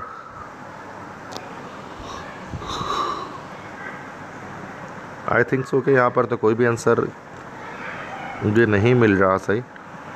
एच सी एल और एच है तो ये आई थिंक ये होगा डी होगा यहाँ पर ना। ये सही है। Next of the species will only dash is non electrolyte कौन सा नॉन इक्वलाइट है? ए आर आर कौन? चूँकि एलिमेंट्स ही कंपाउंड्स होते हैं। Which of the following would make a weak electrolyte weak electrolyte कौन सा होगा? एसिडिक एसिड चूँकि वीक एसिड है। वीक इलेक्ट्रोलाइट इसमें से कौन सा होगा? एच एफ़ हाइड्रोफ्लोरिक एसिड ये वीक एसिड है। नेक्स्ट है कि कौन सा एक वीक इलेक्ट्रोलाइट बनाएगा दोबारा से? तो ये हमारे पास मैग्नीशियम हाइड्रोक्साइड होगा। नेक्स्ट एक और वीक इलेक्ट्रोलाइट ढूंढना है तो ये हमारे पास बेरिलियम का हाइड्रोक्साइड, ये हमारे पास वीक बनेगा। नॉन इलेक्ट्रोलाइट कौन सा? दोबारा से आगे आर्गॉन होगा। ठीक है बच्चों नेक्स्ट हम आते हैं टॉपिक पर that is oxidation reduction reaction oxidation reduction reaction oxidation reaction में क्या फ़र्क है? एक ऑक्सीडेशन रिएक्शन कब होता है? जब इलेक्ट्रॉन एटम इलेक्ट्रॉन लॉस कर सकता है। और रिडक्शन कब हो जाता है? जब इलेक्ट्रॉन एटम गेन कर रहा होता है ऑयल डी जिस तरह से हम इसको याद रखते हैं। Oxidation is loss reduction is gain oxidation reduction reaction हमेशा याद रखें, एक साथ हो रहा होता है। एक सब्सटेंस ऑक्सीडाइज हो रहा होता है, साथ में दूसरा रिड्यूस हो रहा होता है। तभी उसको रिडॉक्स रिएक्शन कह रहे होते हैं। ऑक्सीडेशन नंबर किसने कहते हैं? तो ये नेट न्यू किसी भी कंपाउंड पर जो चार्ज आता है ना, वो ऑक्सीडेशन नंबर कहलाता है। और ऑक्सीडेशन नंबर के कुछ रूल्स होते हैं। पहले ये कि फ्री एलिमेंट पे ऑक्सीडेशन स्टेट हमेशा ज़ीरो होती है। और मोनोटॉमिक आइन पे, जैसे जो वैसे one A two A group के हैं तो वन ए पे प्लस वन होता है, टू ए पे प्लस टू होता है। नॉन मेटल्स के नेगेटिव ऑक्सीडेशन नंबर होते हैं कुछ के पॉजिटिव भी हो सकते हैं। जैसे ऑक्सीजन का वैसे माइनस टू होता है, लेकिन पर में उसका माइनस वन होता है। हाइड्रोजन का माइनस वन होता है, जब मेटल के साथ बॉन्ड करता है, और प्लस वन होता है, जब वो नॉन मेटल के साथ बॉन्ड बनाता है। ठीक है? नॉन मेटल्स के नेगेटिव भी होते हैं, लेकिन कुछ में पॉजिटिव मैंने बता दिया है, और फ्लोरीन का हमेशा माइनस वन होता है। जो कि दूसरे जो हेलोजिन से उनकी ऑक्सीडेशन नंबर माइनस वन हो सकती है और पॉजिटिव भी हो सकती है जब हम दूसरे आइंस बनाते हैं। नेक्स्ट है ऑक्सीडेशन नंबर का सम हमेशा किसी कंपाउंड के अंदर वो हमेशा ज़ीरो होगा। जैसे सी एच फोर में हम देखेंगे तो वो ज़ीरो निकलेगा ओवरऑल ऑक्सीडेशन स्टेट पोलियोटॉमिक आइन में ऑक्सीडेशन स्टेट कितनी होगी? ओवरऑल चार्ज जो आइन के ऊपर लगा होगा, उसके बराबर होगी। ठीक है तो ये ऑक्सीडेशन नंबर इस तरह से हम निकालते हैं। नेक्स्ट है which compound has a metal ion with the highest positive oxidation number कौन से कंपाउंड जो है, वो इसका एक मेटल आइन होगा हाईएस्ट पॉजिटिव ऑक्सीडेशन नंबर के साथ। जिसमें आप जानते हैं that should be aluminium plus three होगा इसके अंदर, ठीक है? Oxidation is the dash and reduction is the dash oxidation is oil rig loss of electron reduction is gain of electron what is oxidation number of oxygen in water H two O two तो यहाँ पर minus one होगा। For which of the following does chlorine have oxidation number of zero zero किसके लिए होगा? Chlorine का oxidation state भाई। Zero किसके लिए होगा। ज़ीरो होगा यस या फ्री स्टेट पे होगा। रिडॉक्स सेक्शन दिया हुआ है विच एलिमेंट इज़ रिड्यूस कौन सा रिड्यूस हो रहा है? कैडमियम तो ज़ीरो से प्लस टू जा रहा है ऑक्सीडाइज हो रहा है। निकल यहाँ पर प्लस फोर से प्लस टू जा रहा है तो निकल रिड्यूस हो रहा है। ऑक्सीडेशन नंबर ओ टू में ऑक्सीजन की कितनी हो गई भाई? ज़ीरो हो गई। कोलिन ऑक्सीडेशन में प्लस थ्री कहाँ पर होगी? यस यहाँ पर होगी एस सी थ्री में होगी। ना एच थ्री में नहीं होगी। एच सी एल टू में होगी।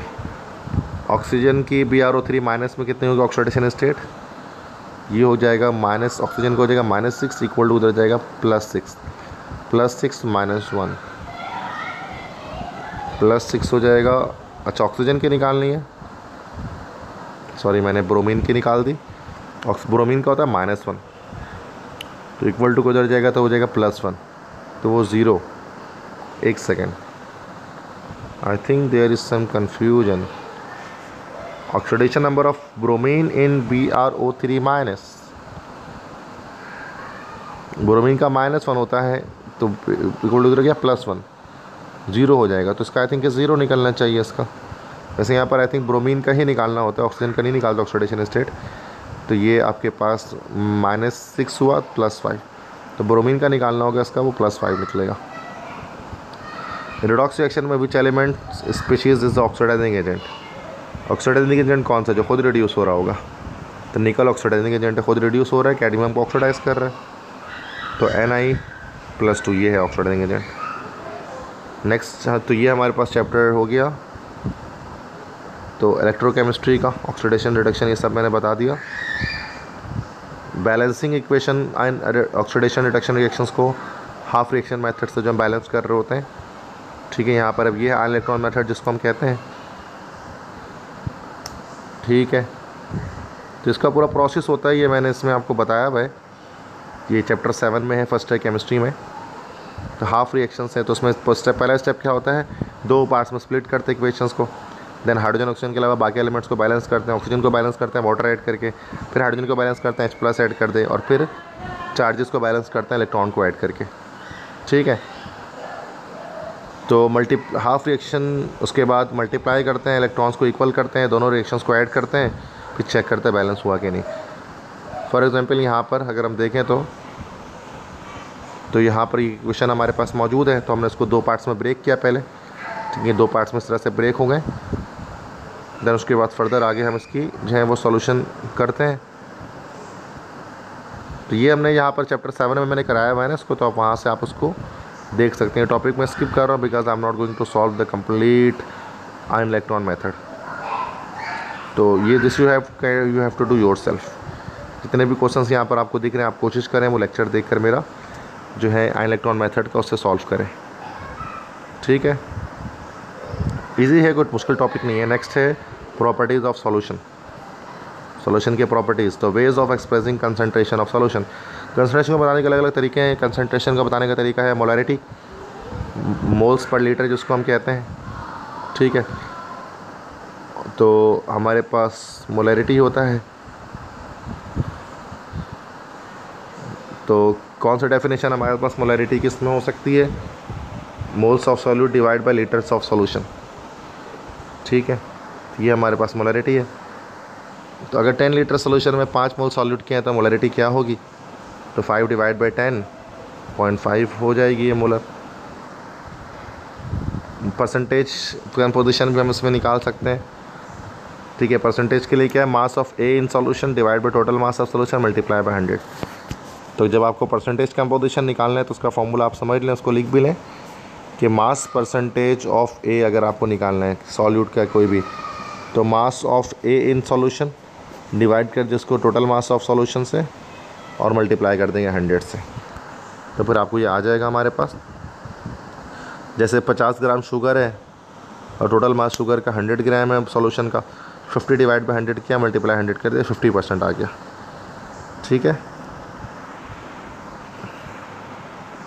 नेक्स्ट हमारे पास जो है वो न्यूट्रल आइटम आ गया आई थिंक ये चैप्टर हम डिस्कस कर चुके हैं पहले। So it is again repeating तो आई थिंक ये रिपीट हो रहा है, ये हमने कर लिया है। डिस्कस पहले लेट्स मूव फॉरवर्ड ठीक है। थोड़ी सी अरेंजमेंट में मसला हो गया। मॉलिकुलर वेट वगैरह ये सब हमने डिस्कस कर लिया है। ठीक है, ये सारी चीज़ें डिस्कस हो चुकी है। लिमिटिंग रिएक्टेंट ये सब तो डिस्कस कर चुके हैं। देन ये इलेक्ट्रोलाइटिक्स का टॉपिक है ऑक्सीडेशन नंबर ये सब भी डिस्कस कर लिया है। हाँ। यस, ये हमारे पास आ रहा है नेक्स्ट एक topic electronic structures of atom तो एटम्स के जो इलेक्ट्रॉनिक स्ट्रक्चर है, वो उस पर बात हो रही है। क्वांटम मैकेनिक्स पे स्टार्ट कर रहे हैं। आप जानते हैं क्वांटम मैकेनिक्स में हम जो है वो एटम के स्ट्रक्चर को डिस्कस करते हैं मॉडर्न मैनर में मॉडर्न वे पर। एयरमैन श्रोडिंजर एक साइंटिस्ट थे जिन्होंने एक मैथमेटिकल ट्रीटमेंट किया था, जिसमें इलेक्ट्रॉन्स की उन्होंने मोशन और एनर्जी उसको डिटरमाइन की थी और बताया था कि इलेक्ट्रॉनिक वेव भी है और पार्टिकल भी है। ठीक है, इसको क्वांटम मैकेनिक्स कहा जाता है, जिसमें हम प्रोबेबिलिटीज़ पर बात कर रहे होते हैं, जिसमें हम ऑर्बिट के बजाय जो है वो कॉन्सेप्ट ऑर्बिटल का ले रहे होते हैं। तो क्वांटम मैकेनिक्स में हम वेव फ़ंक्शन इक्वेशन की बात करते हैं और वेव इक्वेशन को हम ग्रीक अल्फ़ाबेट साई से शो करते हैं। ठीक है, और जो square of the wave equation gives the probability density map of air and electron has a certain statistical likelihood of being at given instant in time तो पाई जो साई स्क्वायर है, उससे हम शो करते हैं कि आखिरकार कहाँ पर हमें जो है वो ये मिलेगा। जैसे मुराद, ये जो इलेक्ट्रॉन है, वो हमें एटम में कहाँ मिलेगा? तो वो साई स्क्वायर शो करता है। क्वांटम नंबर फिर हमारे पास होते हैं, जो हमें एक ऑर्बिटल्स की डिटेल बता रहे होते हैं। चार तरह के क्वांटम नंबर होते हैं। ठीक है principal azimuthal spin quantum principal quantum small n से शो होता है। साइज़ ऑफ़ ऑर्बिट बता रहा होता है नेचुरल नंबर में होता है वन से सेवन तक हो सकता है। ठीक है तो which quantum number describe the size of orbital तो एन ठीक है फ़र्स्ट हो जाएगा। एजिमथल क्वांटम नंबर जो है एंगुलर मोमेंटम क्वांटम नंबर या इसको हम सब्सिडरी क्वांटम नंबर भी कहते हैं, ये हमें शेप बताते हैं ऑर्बिटल का। इसकी वैल्यू ज़ीरो से एन माइनस वन तक होती है। उसमें l equal to zero one two three कुछ भी हो सकता है। ज़ीरो है तो एस है एस ऑर्बिटल है एस सब शेल है पी सब शेल है डी सब शेल है एफ़ सब शेल है। ठीक है? तो number of orbitals in a shell को हम एन स्क्वायर से शो कर सकते हैं। तो फोर्थ जो है आपके पास, जो शेल होगा, उसमें कितने ऑर्बिटल्स होंगे? तो एन स्क्वायर से मुराद फोर का स्क्वायर सिक्सटीन होंगे। एक एस का, तीन पी का, पाँच डी का और सात एफ़ का। Magnetic quantum number l m l से इसको शो किया जाता है। और ये ओरिएंटेशन बताता है ऑर्बिटल की कि वो किस एक्सिस पर होगा। इसकी वैल्यू इंटीजर्स में होती है, ठीक है? तो उसकी वैल्यू इंटीजर में होती है और एस ऑर्बिटल के लिए बस ज़ीरो होती है इसकी वैल्यूज़ पी के लिए plus one zero minus one d के लिए ज़ीरो बीच में होता है, फिर प्लस में टू तक चलाएँ और माइनस में टू तक चलाएँ। एफ़ के लिए होता है कि बीच में ज़ीरो होता है प्लस में जो है वो थ्री तक चला दें माइनस में थ्री तक चला दें। इस तरह से आप इसकी वैल्यूज़ निकल रही होती हैं। टू एल प्लस वन के फॉर्मूले से हम उसके डिफरेंट वैल्यूज़ निकाल रहे होते हैं। जैसे ये लेक्चर में एप्टीट्यूड के स्टूडेंट्स के लिए स्पेशली डिस्कस कर रहा हूँ, ताकि उनके जो कॉन्सेप्ट हैं वो फास्ट डिवीज़न में आ जाएँ। कि एक लेक्चर देख कर ही आपकी कंप्लीट केमिस्ट्री के कॉन्सेप्ट जो हैं वो अच्छे हो सकें। एस ऑर्बिटल के एजमथल नंबर वैल्यू ज़ीरो होती है स्फेरिकल शेप का होता है। और जैसे जैसे इंक्रीज़ होते रहती है प्रिंसिपल नंबर की वैल्यू उसकी साइज़ भी बढ़ती रहती है। पी ऑर्बिटल की एल की वैल्यू वन होती है, तीन ओरिएंटेशन होती है p x p y p z dumbbell shape का होता है। डी ऑर्बिटल की पाँच ओरिएंटेशन होती हैं। ठीक है? तो ये हमारे पास t x y y z z x x square, minus y square, z square. ये अलग अलग हमारे पास इसके ओरिएंटेशन हैं। In four of the five orbital है फोर लोब मतलब पाँच में से चार ऑर्बिटल के जो है ना, वो चार लोब होते हैं। पाँचवा ऑर्बिटल एक पी ऑर्बिटल की तरह ही होता है, जिसमें एक डोनट टाइप का बना होता है सेंटर के अराउंड आप देख सकते हैं ना, ये आखिरी वाला जो है ना, वो ये आपका डोनट टाइप का दिख रहा है। ठीक है? ये मैं यहाँ पर मार्किंग कर देता हूँ so that you can watch it clearly this one बाकी सब आपको पता है कि चार चार लोब वाले आपको दिख रहे हैं जितने भी। ठीक है? तो जैसे आप मेंशन कर लें इस चीज़ को कि जो डी सब शेल है, डी सब शेल में जो है वो चार जो है ना वो, चार के जो है वो फोर लोब्स होते हैं और एक जो है वो कैसा होता है? पी ऑर्बिटल की तरह होता है विथ आ डोनट और उसके बीच में एक डोनट होता है, सेंटर में उसके। तो इस तरह के शेप्स होते हैं। एनर्जीज ऑफ़ ऑर्बिटल की बात करेंगे तो नीचे से ऊपर जाते हैं एनर्जी पड़ती है। ठीक है अच्छा एक ही ऑर्बिटल एक ही सबशेल के जितने ऑर्बिटल्स होते हैं, उनकी सेम एनर्जी होती है डिजेनरेट ऑर्बिटल कहते हैं। जैसे p x p y p z तमाम डी ऑर्बिटल तमाम एफ़ ऑर्बिटल के सारे डिजेनरेट ऑर्बिटल्स कहलाते हैं। Next which of the following orbitals degenerated with p y orbital in atom with many electrons तो पी वाई के साथ कौन सा हो सकता है भाई? पी एक्स ये हमारे पास डिजेनरेट इसके साथ ऑर्बिटल बन सकता है। स्पिन क्वार्टर नंबर क्या शो करता है? भाई स्पिन बताता है कि इलेक्ट्रॉन की क्या स्पिन है अपने एक्सिस के अराउंड तो दो इलेक्ट्रॉन अगर होते हैं एक ही ऑर्बिटल के अंदर तो अपोजिट स्पिन में होते हैं क्लॉकवाइज स्पिन करता है, एक एंटी क्लॉकवाइज स्पिन करता है. तो स्पिन क्वांटम नंबर वैल्यू की प्लस हाफ़ होती है कि माइनस हाफ़ होती है? दो वैल्यूज़ रखते हैं, एक प्लस हाफ़ और एक माइनस हाफ़ में रखते हैं. अच्छा इसमें से कह रहे हैं कि which of the following represents और allowed acceptable set of quantum number for an electron in an atom देखें, ये नहीं हो सकता। अच्छा यहाँ पर आई थिंक आंसर पहले से मेंशन है। ठीक है। तो ये आंसर्स ऑलरेडी मैंशन है। How many values of there are for m s quantum numbers two तो ये ऑलरेडी मैंशन है, जिस मैं इसको डिस्कस नहीं कर रहा।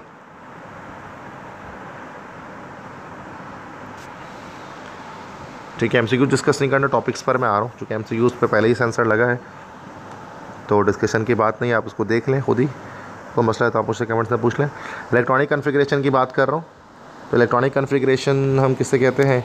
जिसमें हम इलेक्ट्रॉन्स को फिल करते हैं किसी भी ऑर्बिटल के अंदर। That is call electronic configuration ठीक है? तो इलेक्ट्रॉनिक कन्फिग्रेशन करने के लिए हमें यहाँ पर क्या करना पड़ता है? कि जो है वो एक तरीका होता है वो प्रिंसिपल वो अपनाते हैं इस तरह से। ये आपको पता होगा। कि इस तरह से सारे ऑर्बिटल्स को हम लिखते हैं। पहले वन वाले सारे, फिर टू वाले, फिर थ्री वाले, फिर फोर वाले। फिर सब, फिर शुरू में एस, फिर सेकंड कॉलम में पी, फिर डी, फिर एफ़, फिर डायगनल कट कर देते हैं और टॉप से बॉटम पढ़ते हुए जाते हैं। तो इंक्रीजिंग एनर्जी ऑर्डर में ऑर्बिटल सारा आ जाता है। One s, two s, two p, three s, three p, four s, three d, इस तरह से। तो इस तरह से कंप्लीट जो है वो पैटर्न चल जाता है। तो we fill orbitals in increasing order of energy increasing energy में फिल करते हैं। ठीक है। तो क्वेश्चन है कि what is the full electronic emission A R argon की फुल करनी है तो फिर फिल कर दिया one s two two s two two p six three s two three p six total अठारह इलेक्ट्रॉन आ गए उसके पास। ठीक है पोटेशियम भी करनी है थर्टी नाइन तो उस तरह से फिल कर दिया। कंडेंस करके भी कर सकते हैं, जैसे पोटेशियम में कंडेंस करनी है। आर्गान तक तो आ ही रहा है आर्गॉन के एटीन होते हैं पोटेशियम को नाइनटीन तो आर्गॉन के बाद फोर एस पर एक इलेक्ट्रॉन एक्स्ट्रा लग रहा है। तो ए आर इस तरह ब्रैकेट डाल के फोर एस वन इस तरह से भी शो किया जा सकता है। इसको हम लोग कहते हैं condensed electronic configuration so this will be called condense electronic configuration जिसमें हमने कंडेंस कर दिया उसको। ठीक है? नेक्स्ट है कि some anomaly some irregularities occur when there are enough electrons to fill s and d orbitals on a given draw कुछ नॉर्मलिटीज़ हैं जैसे क्रोमियम है तो क्रोमियम को four s two three d four के बजाय four s one three d five हो जाता है। स्टेबिलिटी गेन करने कॉपर जो है वो four s one three d ten आखिर में होने के बजाय फोर एस वो four s two three d nine होने की बजाय four s one, three d ten हो जाता है स्टेबिलिटी गेन करने की वजह से। फिर ये कुछ एम सी क्यूज़ हैं। तो फुल इलेक्ट्रॉनिक कन्फिग्रेशन टाइटेनियम की यहाँ पर कह रहे हैं। तो टाइटेनियम जो है वो हमारे पास स्कैंडियम टाइटेनियम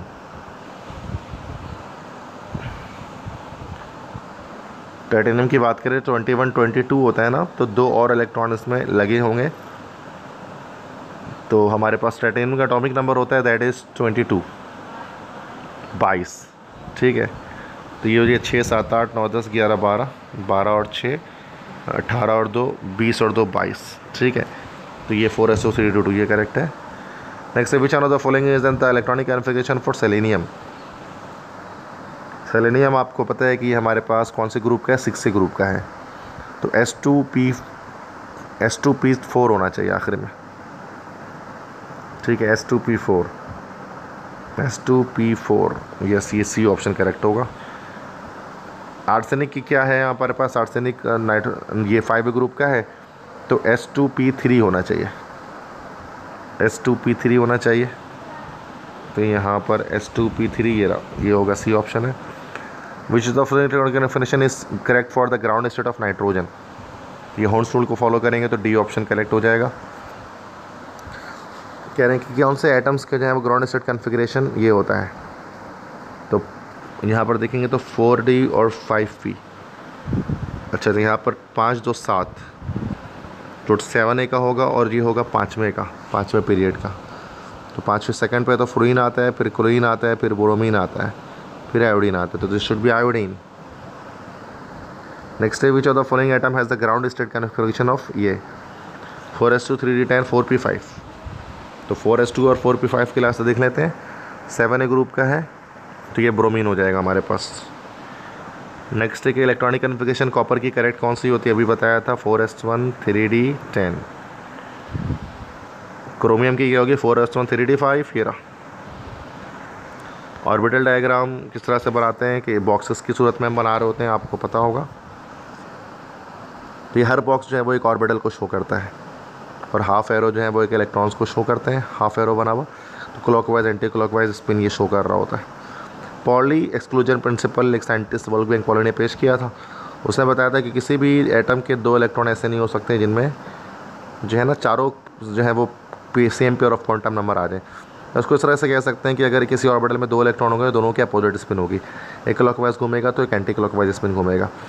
हुनशूल कहता है कि अगर किसी इलेक्ट्रॉन को अगर आप P orbit degenerate orbitals अगर आपके पास सिमिलर एनर्जी ऑर्बिटल्स अगर आपके पास अवेलेबल हों तो आप इलेक्ट्रॉन्स को बजाय शुरू में मतलब कि पेयरिंग में फिल करने के आप उसको अलोन फिल करते हैं। ठीक है? तो पहले अलोन फिल करते हैं, फिर पेयरिंग करते हैं। जैसे अगर आपको चार इलेक्ट्रॉन फिल करना है तो आप यहाँ पर इस तरह से नहीं कर सकते चार इलेक्ट्रॉन को फिल के एक, दो, तीन, चार फिल करें, नहीं। क्योंकि पहले एक, दो, तीन इस तरह से करें, फिर चौथा दोबारा आके यहाँ पर फिल करें। ये होनस्टूल कहलाता है। ठीक है? होनस्टूल के बाद नेक्स्ट है electronic configuration different lighter elements की यहाँ पर हुई भी है। लिथियम बेरिलियम बोरॉन कैल्श कार्बन ये आप देख सकते हैं जस्ट ये आपके नॉलेज के लिए जस्ट है। जिसमें सारे जो है वो ऑर्बिटल डायग्राम्स इसमें बना दी गई हैं। क्वेश्चन है which electronic configuration does not follow Hund's rule जिसमें आपने पेयरिंग के बजाय सिंगल ही भर दिया वो फॉलो नहीं करेगा। जैसे वन एस यहाँ पर कौन सा फॉलो नहीं कर रहा होन्स रूल को?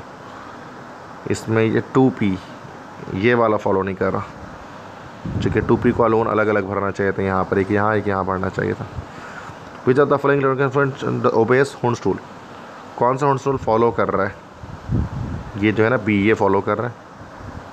विच are the following electric OBCs होन स्टूल इसमें कौन सा फॉलो कर रहा है? जिसमें ये ए फॉलो कर रहा है। नेक्स्ट है, कौन सा पॉली एक्सक्लूजन प्रिंसिपल फॉलो नहीं कर रहा है? पॉली एक्सक्लूजन प्रिंसिपल कौन सा फॉलो नहीं कर रहा है, अगर हम इसको देखें तो। तो इधर पर one s two two s two two p one one s two two s two two p पर सही है इस तरह से। तो ये फॉलो हो रहा है। अच्छा एक ऑर्बिटल में दो इलेक्ट्रॉन होंगे तो ये गलत हो गया इसमें, ठीक है। तो यहाँ पर दोनों अपोजिट स्पिन में होने चाहिए थे। Next which one of the following electronic configuration of s Pauli exclusion principle. कौन सा पॉली को फॉलो कर रहा है? तो जिसमें एक क्लॉक वाइज एक एंटी क्लॉक वाइज हो, ये सी ऑप्शन है। Which one of the following electronic configuration of the Pauli exclusion principle इसमें कौन सा फॉलो कर रहा है? तो ये पेयर देख लें क्लॉकवाइज एंटी क्लॉक वाइज की ये डी ऑप्शन में दिख रहा होगा आपको।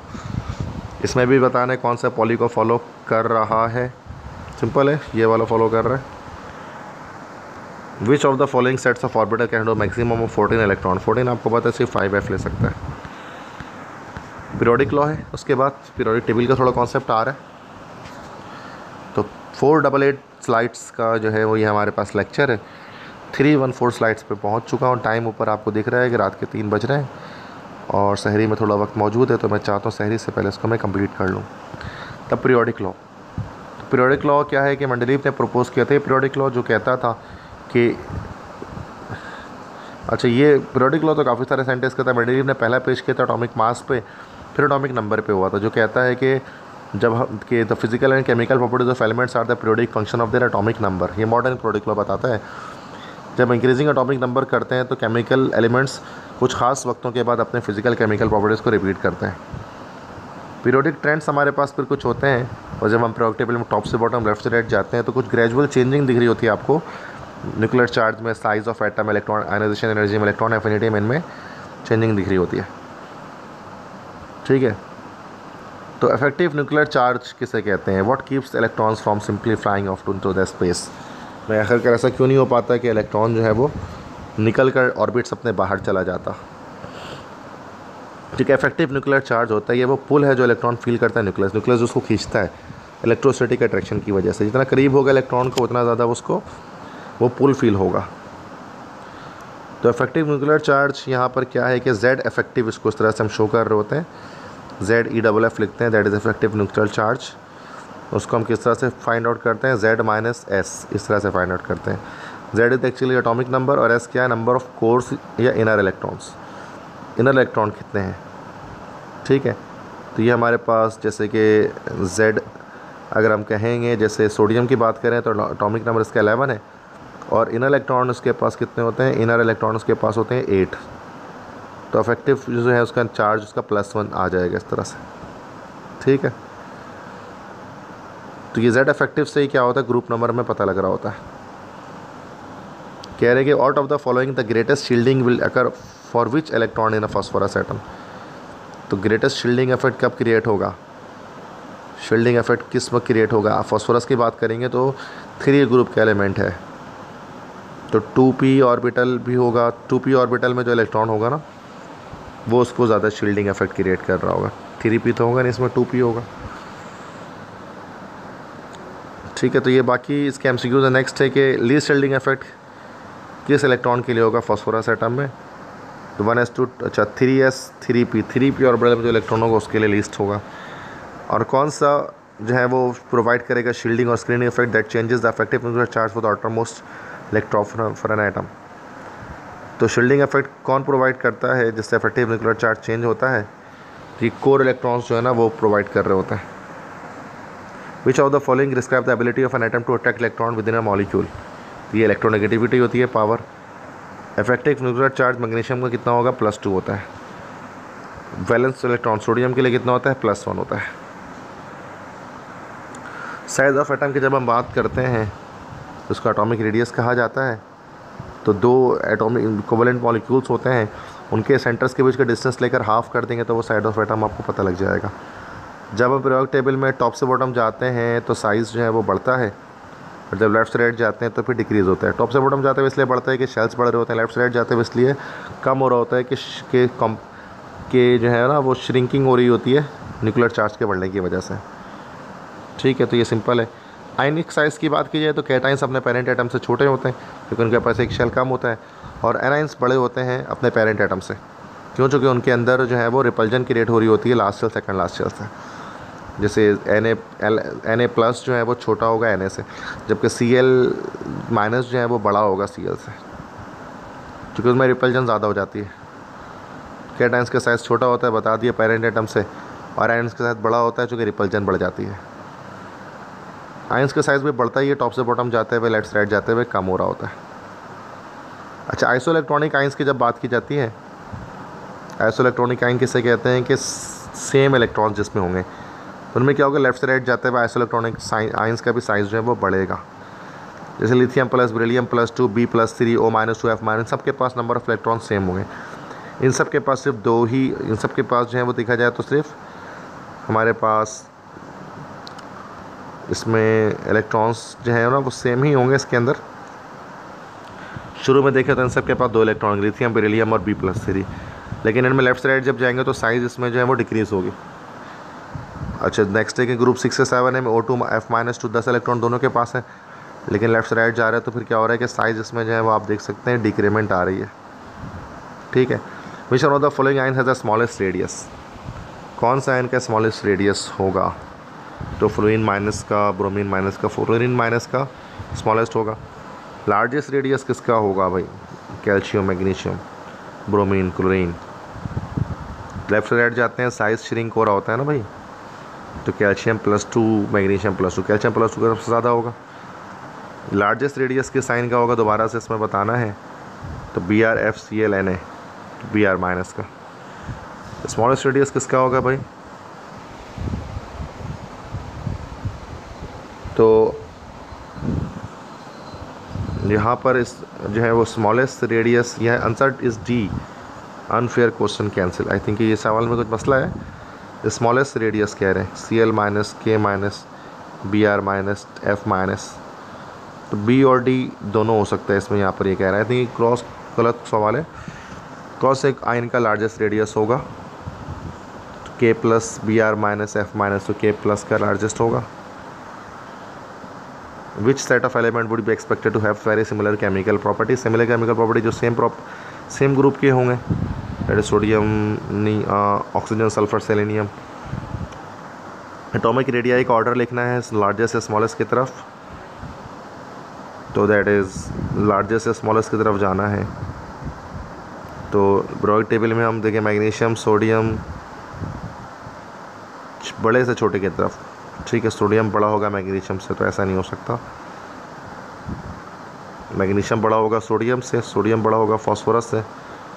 फॉस्फोरस बड़ा होगा सिलिकॉन से। नहीं। सिलिकॉन बड़ा होगा फॉस्फोरस से सोडियम बड़ा होगा मैग्नीशियम से। मैग्नीशियम बड़ा होगा सिलिकॉन से, सिलिकॉन बड़ा होगा फॉस्फोरस से। हाँ ये ए ऑप्शन करेक्ट है।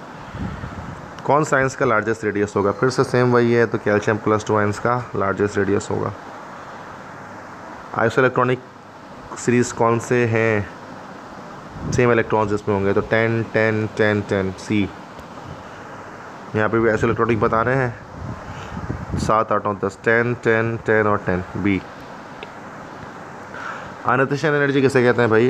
अमाउंट ऑफ़ एनर्जी जो किसी भी एटम के लास्ट से इलेक्ट्रॉन को बाहर निकालने के लिए चाहिए होती है, उसको हम अनतिशन एनर्जी कह रहे होते हैं। फ़र्स्ट अनतिशन एनर्जी भी होती है सेकंड भी होती है, जो दूसरा निकालने के लिए चाहिए होती है। लेफ़्ट से राइट जाते हैं आयनाइजेशन एनर्जी जो है वो बढ़ रही होती है।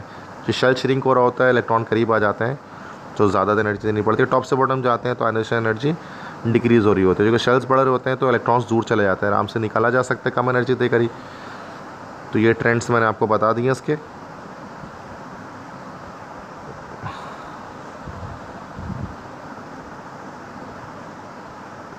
तो आई थिंक ये सब सेम है। अच्छा नेक्स्ट है एम सी क्यूज़ यहाँ पर डिस्कस कर रहे हैं। कि which of the following groups of atoms is arrange in order of decreasing first ionisation energy from highest to lowest highest to lowest पे जाना है। ठीक है। तो हाईएस्ट टू लोएस्ट जाएँगे तो हमें प्रोडक्ट टेबल में लेफ़्ट से राइट की तरफ़ जाना है। तो ये लेफ़्ट से राइट जाते हुए हमारे पास ये ऑप्शन सही है आर्गॉन सॉरी क्लोरीन की ज़्यादा होगी, सल्फ़र से, सल्फ़र की ज़्यादा होगी एलुमिनियम से एलुमिनियम की ज़्यादा होगी, और कौन सा? नहीं, ये नहीं है। जो should be this one C second ionisation energy कौन सा रिप्रेजेंट करेगा? दूसरा इलेक्ट्रॉन निकलना है। पी माइनस फॉस्फोरस से एक इलेक्ट्रॉन तो निकल गया। तो पी माइनस से उससे फिर एक और इलेक्ट्रॉन निकलना है। This is P plus P plus two ये हो जाएगा second I P highest first ionisation energy किसकी होगी? लिथियम नाइट्रोजन सबसे मुश्किल से किसका इलेक्ट्रॉन निकलेगा? यस टी ऑक्सीजन का निकलेगा। लोएस्ट फ़र्स्ट आयनाइजेशन एनर्जी किसकी होगी? लोएस्ट फ़र्स्ट आयनाइजेशन एनर्जी हमारे पास होगी सबसे कम अल्कली मेटल्स की होगी। Second ionisation energy which of the following correctly represent the second ionisation energy of calcium एक निकल गया, दूसरा निकालना है तो ये सी ऑप्शन हो गया। इलेक्ट्रॉन एफिनिटी क्या है कि भाई उसका रिवर्स है? कि जब किसी भी जो है वो इलेक्ट्रॉन को ऐड किया जाता है लास्ट सेल में किसी एटम के तो एनर्जी रिलीज़ होती है। जो भी एनर्जी रिलीज़ होती है that is electron affinity left से राइट जाते हैं सेम आई की तरह बढ़ती है वैल्यू और टॉप से बॉटम जाते हैं तो डिक्रीज़ हो रही रहती है। ठीक है? तो यहाँ पर दो जगह पर अब नॉर्मलिटी आती है टू डिसकन्टीन्यूटी होती है। पहला तो ग्रुप वन ए टू के बीच में आ रही होती है कि टू ए ग्रुप चूँकि स्टेबल कन्फिग्रेशन होते हैं, इस वजह से इलेक्ट्रॉन इसमें एंटर नहीं हो पाता। और जबकि दूसरा जो हमारे पास फाइव ए में आ रहा होता है क्योंकि फाइव ए की इलेक्ट्रॉनिक कन्फिग्रेशन भी स्टेबल होती है तो उसमें इलेक्ट्रॉन आराम से एंटर नहीं हो पाता। ठीक है तो ये दो अबनॉर्मलिटीज़ आ रही होती है उसके अंदर। तो which of one of the following elements has the most negative value for first electron affinity अच्छा ये एम सी क्यूज़ है जस्ट ये आप खुद सॉल्व कर लें। तो मैं एम सी क्यूज़ को आगे बढ़ा रहा हूँ जस्ट कॉन्सेप्ट की तरफ़ जाता हूँ। चैप्टर एट है chem concept of chemical bonding तीन टाइप के केमिकल बॉन्ड होते हैं, आप जानते हैं। आयनिक होता है कोवलेंट होता है कोऑर्डिनेट कोवलेंट होता है। ठीक है, और सॉरी मेटलिक होता है। आयनिक बॉन्डिंग मेटल और मेटल के बीच में बन रहे होते हैं। सोडियम एक इलेक्ट्रॉन गेट लॉस कर देता है, कुलिन गेन करता है। दोनों के ऑक्टेट कंप्लीट हो जाते हैं। और इसमें लेटेस्ट एनर्जी निकलती है। Lattice energy that is ionic bond बनने से एनर्जी रिलीज़ होती है, उसको हम लेटेस्ट एनर्जी कहते हैं। ठीक है तो ये लेटेस्ट एनर्जी का कॉन्सेप्ट था। और यहाँ पर ये क्या बात कह रहे हैं कि energy the energy associated with electrostatic attraction between ions मतलब उसको हम कोलम्स लॉ से बता सकते हैं। जो भी एनर्जी आती है, और lattice energy then increases with the charge of the ions it also increase with decreasing size of ion मतलब आइंस का साइज़ कम होता है तो लेटेस्ट एनर्जी बढ़ती है। चार्ज बढ़ता है तब भी लेटेस्ट एनर्जी बढ़ती है। ये दोनों सूरतों में कह रहे हैं। जैसे एन में सेवन डबल एट है। जितने छोटे आइटम्स होंगे, उसकी लेटेस्ट एनर्जी उतनी ज़्यादा हो रही है। जो बड़े आइटम उनकी लेटेस्ट एनर्जी कम हो रही है। ठीक है? कोवलेंट बॉन्डिंग की बात की जाती है तो शेयरिंग ऑफ़ इलेक्ट्रॉन से बन रहे होते हैं। दो नॉनोमेटल्स आपस में शेयर कर होते हैं। पोलर नॉन पोलर दोनों होते हैं। पोलर कब होंगे कि जब डिफरेंट आइटम से मिलकर बनेंगे सेम आइटम से मिलकर बने कोवलेंट बॉन्ड तो फिर नॉन पोलर होगा। ठीक है? इलेक्ट्रोनेगेटिविटी क्या होती है? किसी इलेक्ट्रॉन की वो ताकत जिसके ज़रिए वो शेड पर इलेक्ट्रॉन को अपनी तरफ़ खींचता है। उसको हम कहते हैं इलेक्ट्रोनेगेटिविटी टॉप से बॉटम डिक्रीज होती है लेफ़्ट से राइट इंक्रीज हो रही होती है. पोलर कोवेलेंट बॉन्ड कब बनता है? जैसे मैंने बताया, दो डिफरेंट आइटम से मिलकर बने इलेक्ट्रॉन जब बॉन्ड शेयरिंग हो, ये पोलर कोवेलेंट बॉन्डिंग कहलाती है. और फिर उसके बीच में क्या होता है? डायपोल मूवमेंट भी कैलकुलेट कर रहे होते हैं. जिसको डिबाई यूनिट्स में बताया जा रहा होता है, जो बताता है पोलरिटी की कैलकुलेशन करता है. ठीक है तो डिफरेंट जो है वो पोलर बॉन्ड्स आपको यहाँ पर दिखाए गए हैं. Different different molecules Lewis structure की बात करते हैं। लेविस स्ट्रक्चर किस तरह? डॉट एंड क्रॉस स्ट्रक्चर जो आपका बन रहा होता है। लेविस स्ट्रक्चर बताता है जो बॉन्डिंग को एक्सप्लेन कर रहा होता है। ठीक है? तो लेविस स्ट्रक्चर तो आपको बनाना आता है। फ़र्स्ट टाइम में भी मैंने आपको डिटेल में बताया है इसको। तो पी सी एल थ्री इस तरह के लेविस स्ट्रक्चर्स यहाँ पर बन रहे हैं। जी ऑक्टेट कंप्लीट करना होता है। ये आप जानते हैं किस तरह करते हैं। ये हाइड्रोजन साइनाइड का कंप्लीट हो रहा है। ठीक है? तो ये डिफरेंट तरह के लेवल स्ट्रक्चर यहाँ पर बनाए गए हैं।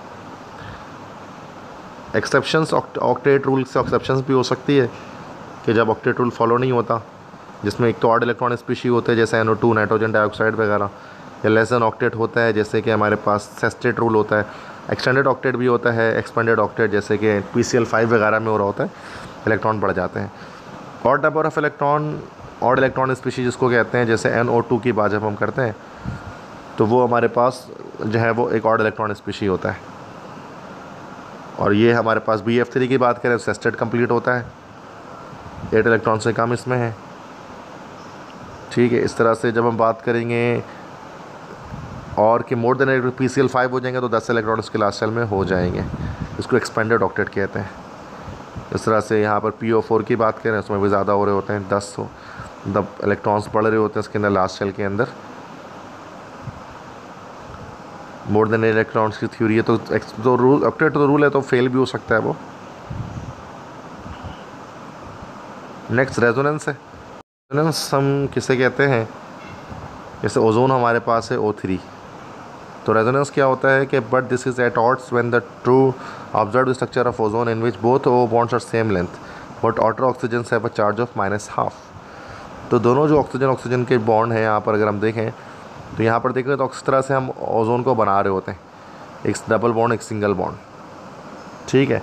लेकिन होता क्या है कि सारे बॉन्ड्स यहाँ पर दोनों ऑक्सीजन के बॉन्ड्स की बॉन्ड लेंथ सेम आ रही होती है। तो यहाँ पर उसकी वजह क्या है? चूँकि यहाँ पर पाई बॉन्ड की रोटेशन हो रही होती है, जिसको हम रेजोनेंस कहते हैं।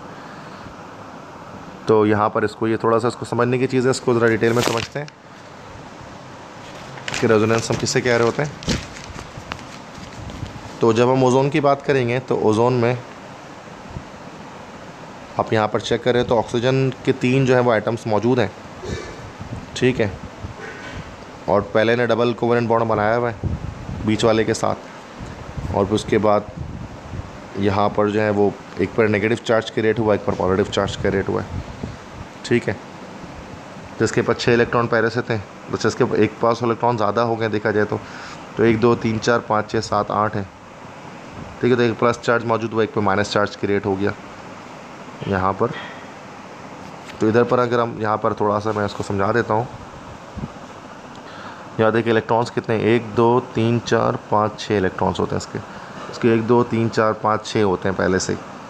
तो एक इलेक्ट्रॉन कहीं बाहर से ले रहे है, तभी जाकर ये बॉन्ड कर पा रहे है, तभी माइनस चार्ज आ गया। और यहाँ देखिए इसके एक, दो, तीन, चार, पाँच। तो इसने एक इलेक्ट्रॉन यहाँ से नहीं है, इसके पास इसको दे दिया। कि पॉजिटिव चार्ज आ गया।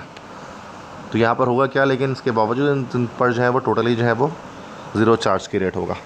दोनों की जो बॉन्ड लेंथ है one point two seven eight angstrom इसकी भी रहेगी, दूसरे वाले की one point two seven eight angstrom रहेगी। ठीक है? तो यहाँ पर ये देखने के लिए आता है। तो रेजोनेंस क्या है कि भाई कि one Lewis structure can not accurately depict a molecule such as ozone we use multiple structures resonance structures to describe one molecule तो मल्टीपल स्ट्रक्चर बनाने पड़ते हैं, जिसको हम रेजोनेंस स्ट्रक्चर कहते हैं। ठीक है? जैसे यहाँ पर देख लें, दोनों डबल मल्टीपल स्ट्रक्चर्स यहाँ पर बने हुए जिसमें डबल बॉन्ड पोजिशंस में आ रही में एक तरफ़ आ रहा है, उसमें दूसरी तरफ़ आ रहा है। ठीक है? तो ये दो स्ट्रक्चर है, वो ओजोन के पॉसिबल हो सकते हैं। यही चीज़ हमारे पास रेजोनेंस कहलाती है कि पाई बॉन्ड की रोटेशन हो रही है।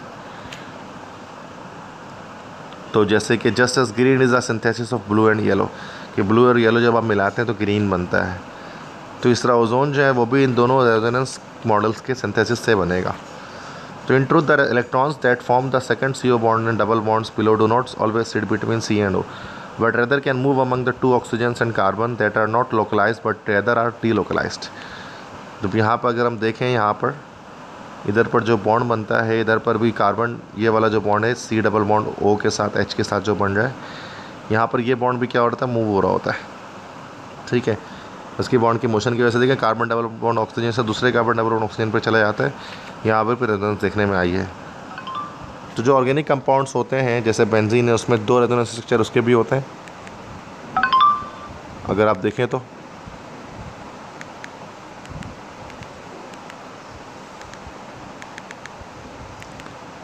ठीक है, दो तरह से स्ट्रक्चर इसके भी होते हैं। तो हेक्सागोनल रिंग होते हैं, जिसमें कॉन्जुगेट पोजीशन पर पाई बॉन्ड होते हैं, ये हमने सेकेंड में डिटेल में हम उसको डिस्कस करते हैं।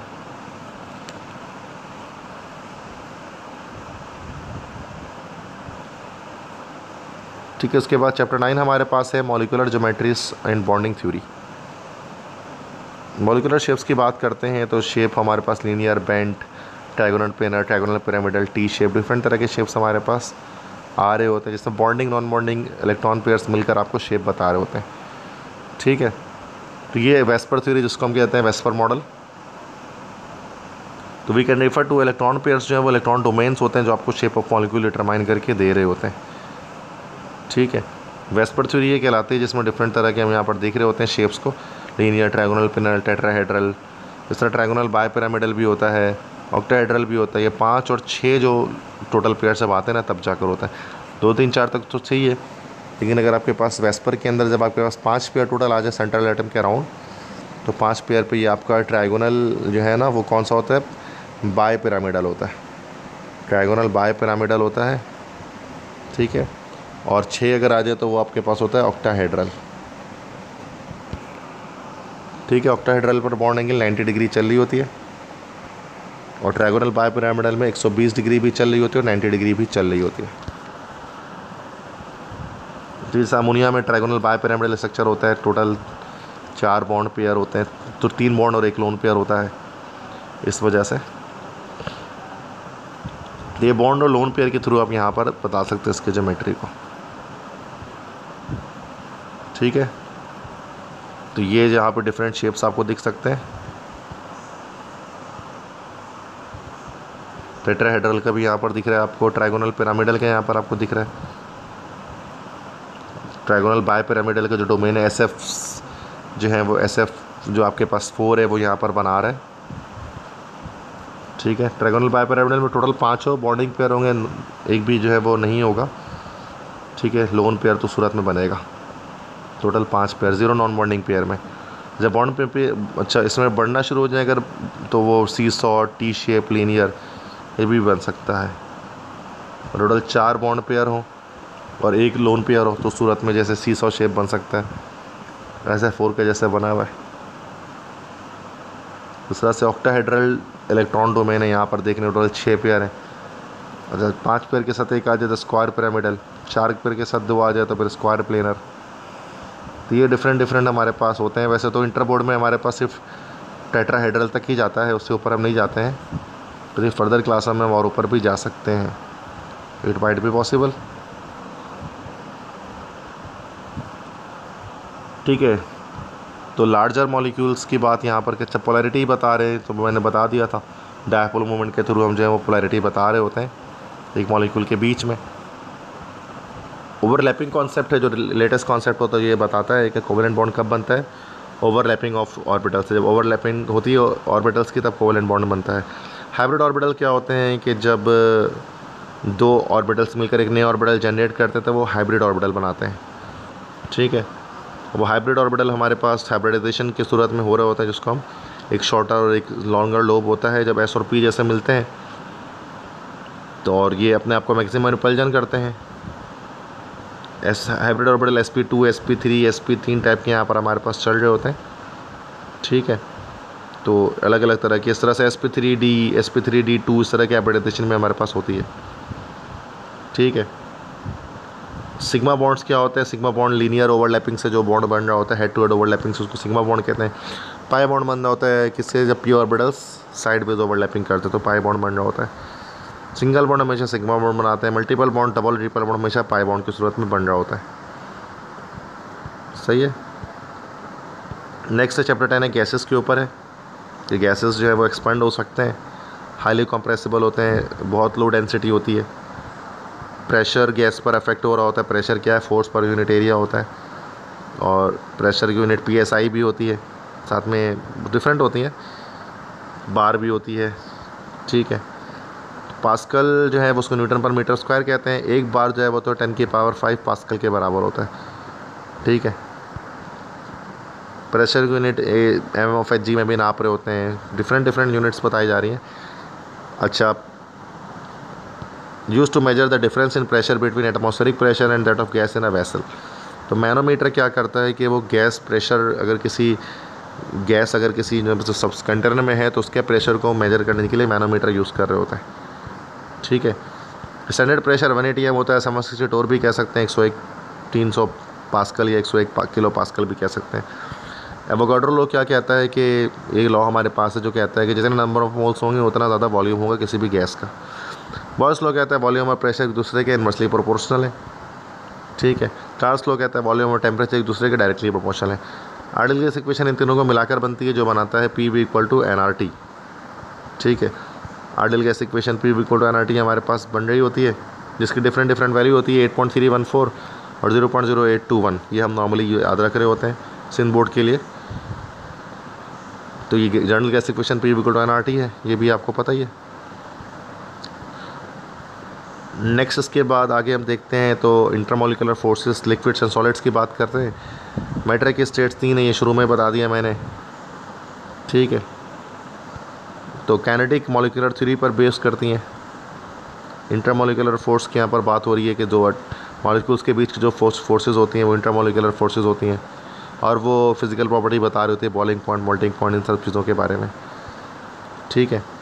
तो दिस अच्छा These intermolecular forces as a group are referred to as van forces. इन इंटरमोलिकुलर फोर्सेस को हम वेंटर वॉल फोर्सेस भी कह रहे होते हैं। वेंटर वॉल फोर्सेस के अंदर हमारे पास क्या आ जाते हैं? Ion dipole interaction dipole dipole interaction London dispersion forces hydrogen bonding चार तरह के आ जाते हैं। आइन डायपोल इंटरेक्शन किसको कहते हैं? कि ion dipole interaction are an important force in solution of ions the strength of these forces are what make it possible for ionic substance to dissolve in polar solvent ion dipole interaction क्या होता है कि जब कोई आइन जो है ना कैटाइन एनाइन मतलब पॉजिटिव और नेगेटिव आइन को किसी आइनिक कंपाउंड के, जब वो किसी कोवलेंट मॉलिक्यूल के जो है, वो जेर असर आते हैं तो फिर वो आइन जो है ना, वो डायपोल इंटरेक्शंस कहलाते हैं। तो याद रखिए कि जो वेंडर वॉल ये साइंटिस्ट का नाम है वेंडर वॉल उसके नाम पर फोर्सेस है वेंडर वॉल फोर्सेस ये चार तरह के हैं हमारे पास वन टू थ्री फोर तो फ़र्स्ट हमारे पास है आइन डाइपोल आइन डाइपोल मैंने बताया कि वो क्या है भाई? कि जब किसी आइन को पानी में डाला जाए, उसके बाद डाइपोल डाइपोल है, जब दो जो है वो कह लें कि पोलर मॉलिक्यूल्स आपस में इंटरेक्ट करते हैं, जिसके ऊपर लंडन डिस्पर्जन फोर्सेज है नॉन पोलर के लिए होता है। उसके बाद हाइड्रोजन बॉन्डिंग है, जो उस वक्त होता है कि जब हाइड्रोजन के कॉम्बिनेशन किसी हाईली इलेक्ट्रोनेगेटिव एलिमेंट जैसे कि फ्लोरीन ऑक्सीजन या नाइट्रोजन से होता है। डायपोल डायपोल में क्या होता है कि जब दो मॉलिक्यूल्स अट्रैक्ट कर रहे होते हैं एक दूसरे के साथ लंडन डिस्पर्जन फोर्स में दो नॉन पोलर मॉलिक्यूल जब आपस में जो है ना, वो अटैच हो रहे होते हैं, तब उस वक्त लंडन फोर्सेस फोर्सेस हम उसको कह रहे होते हैं।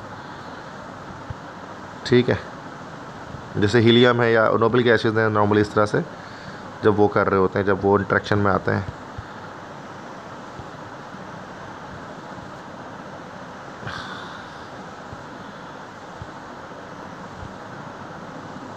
इस तरह से हमारे पास जो है वो आगे जब हम बढ़ते हैं तो ये हाइड्रोजन बॉन्डिंग की बात करते तो मैंने बताया कि हाइड्रोजन का जब नाइट्रोजन ऑक्सीजन या फ्लोरीन में से इंट्रैक्शन होता है तो that will be hydrogen bonding तो इंटरमोलिकुलर फोर्स को समराइज करें तो इंटरमोलिकुलर इंटर इंटरेक्टिंग मॉलिक्यूल्स और आइन तो अगर आइंस इन्वॉल्व हो रहे हैं तो हाँ हो रहे हैं।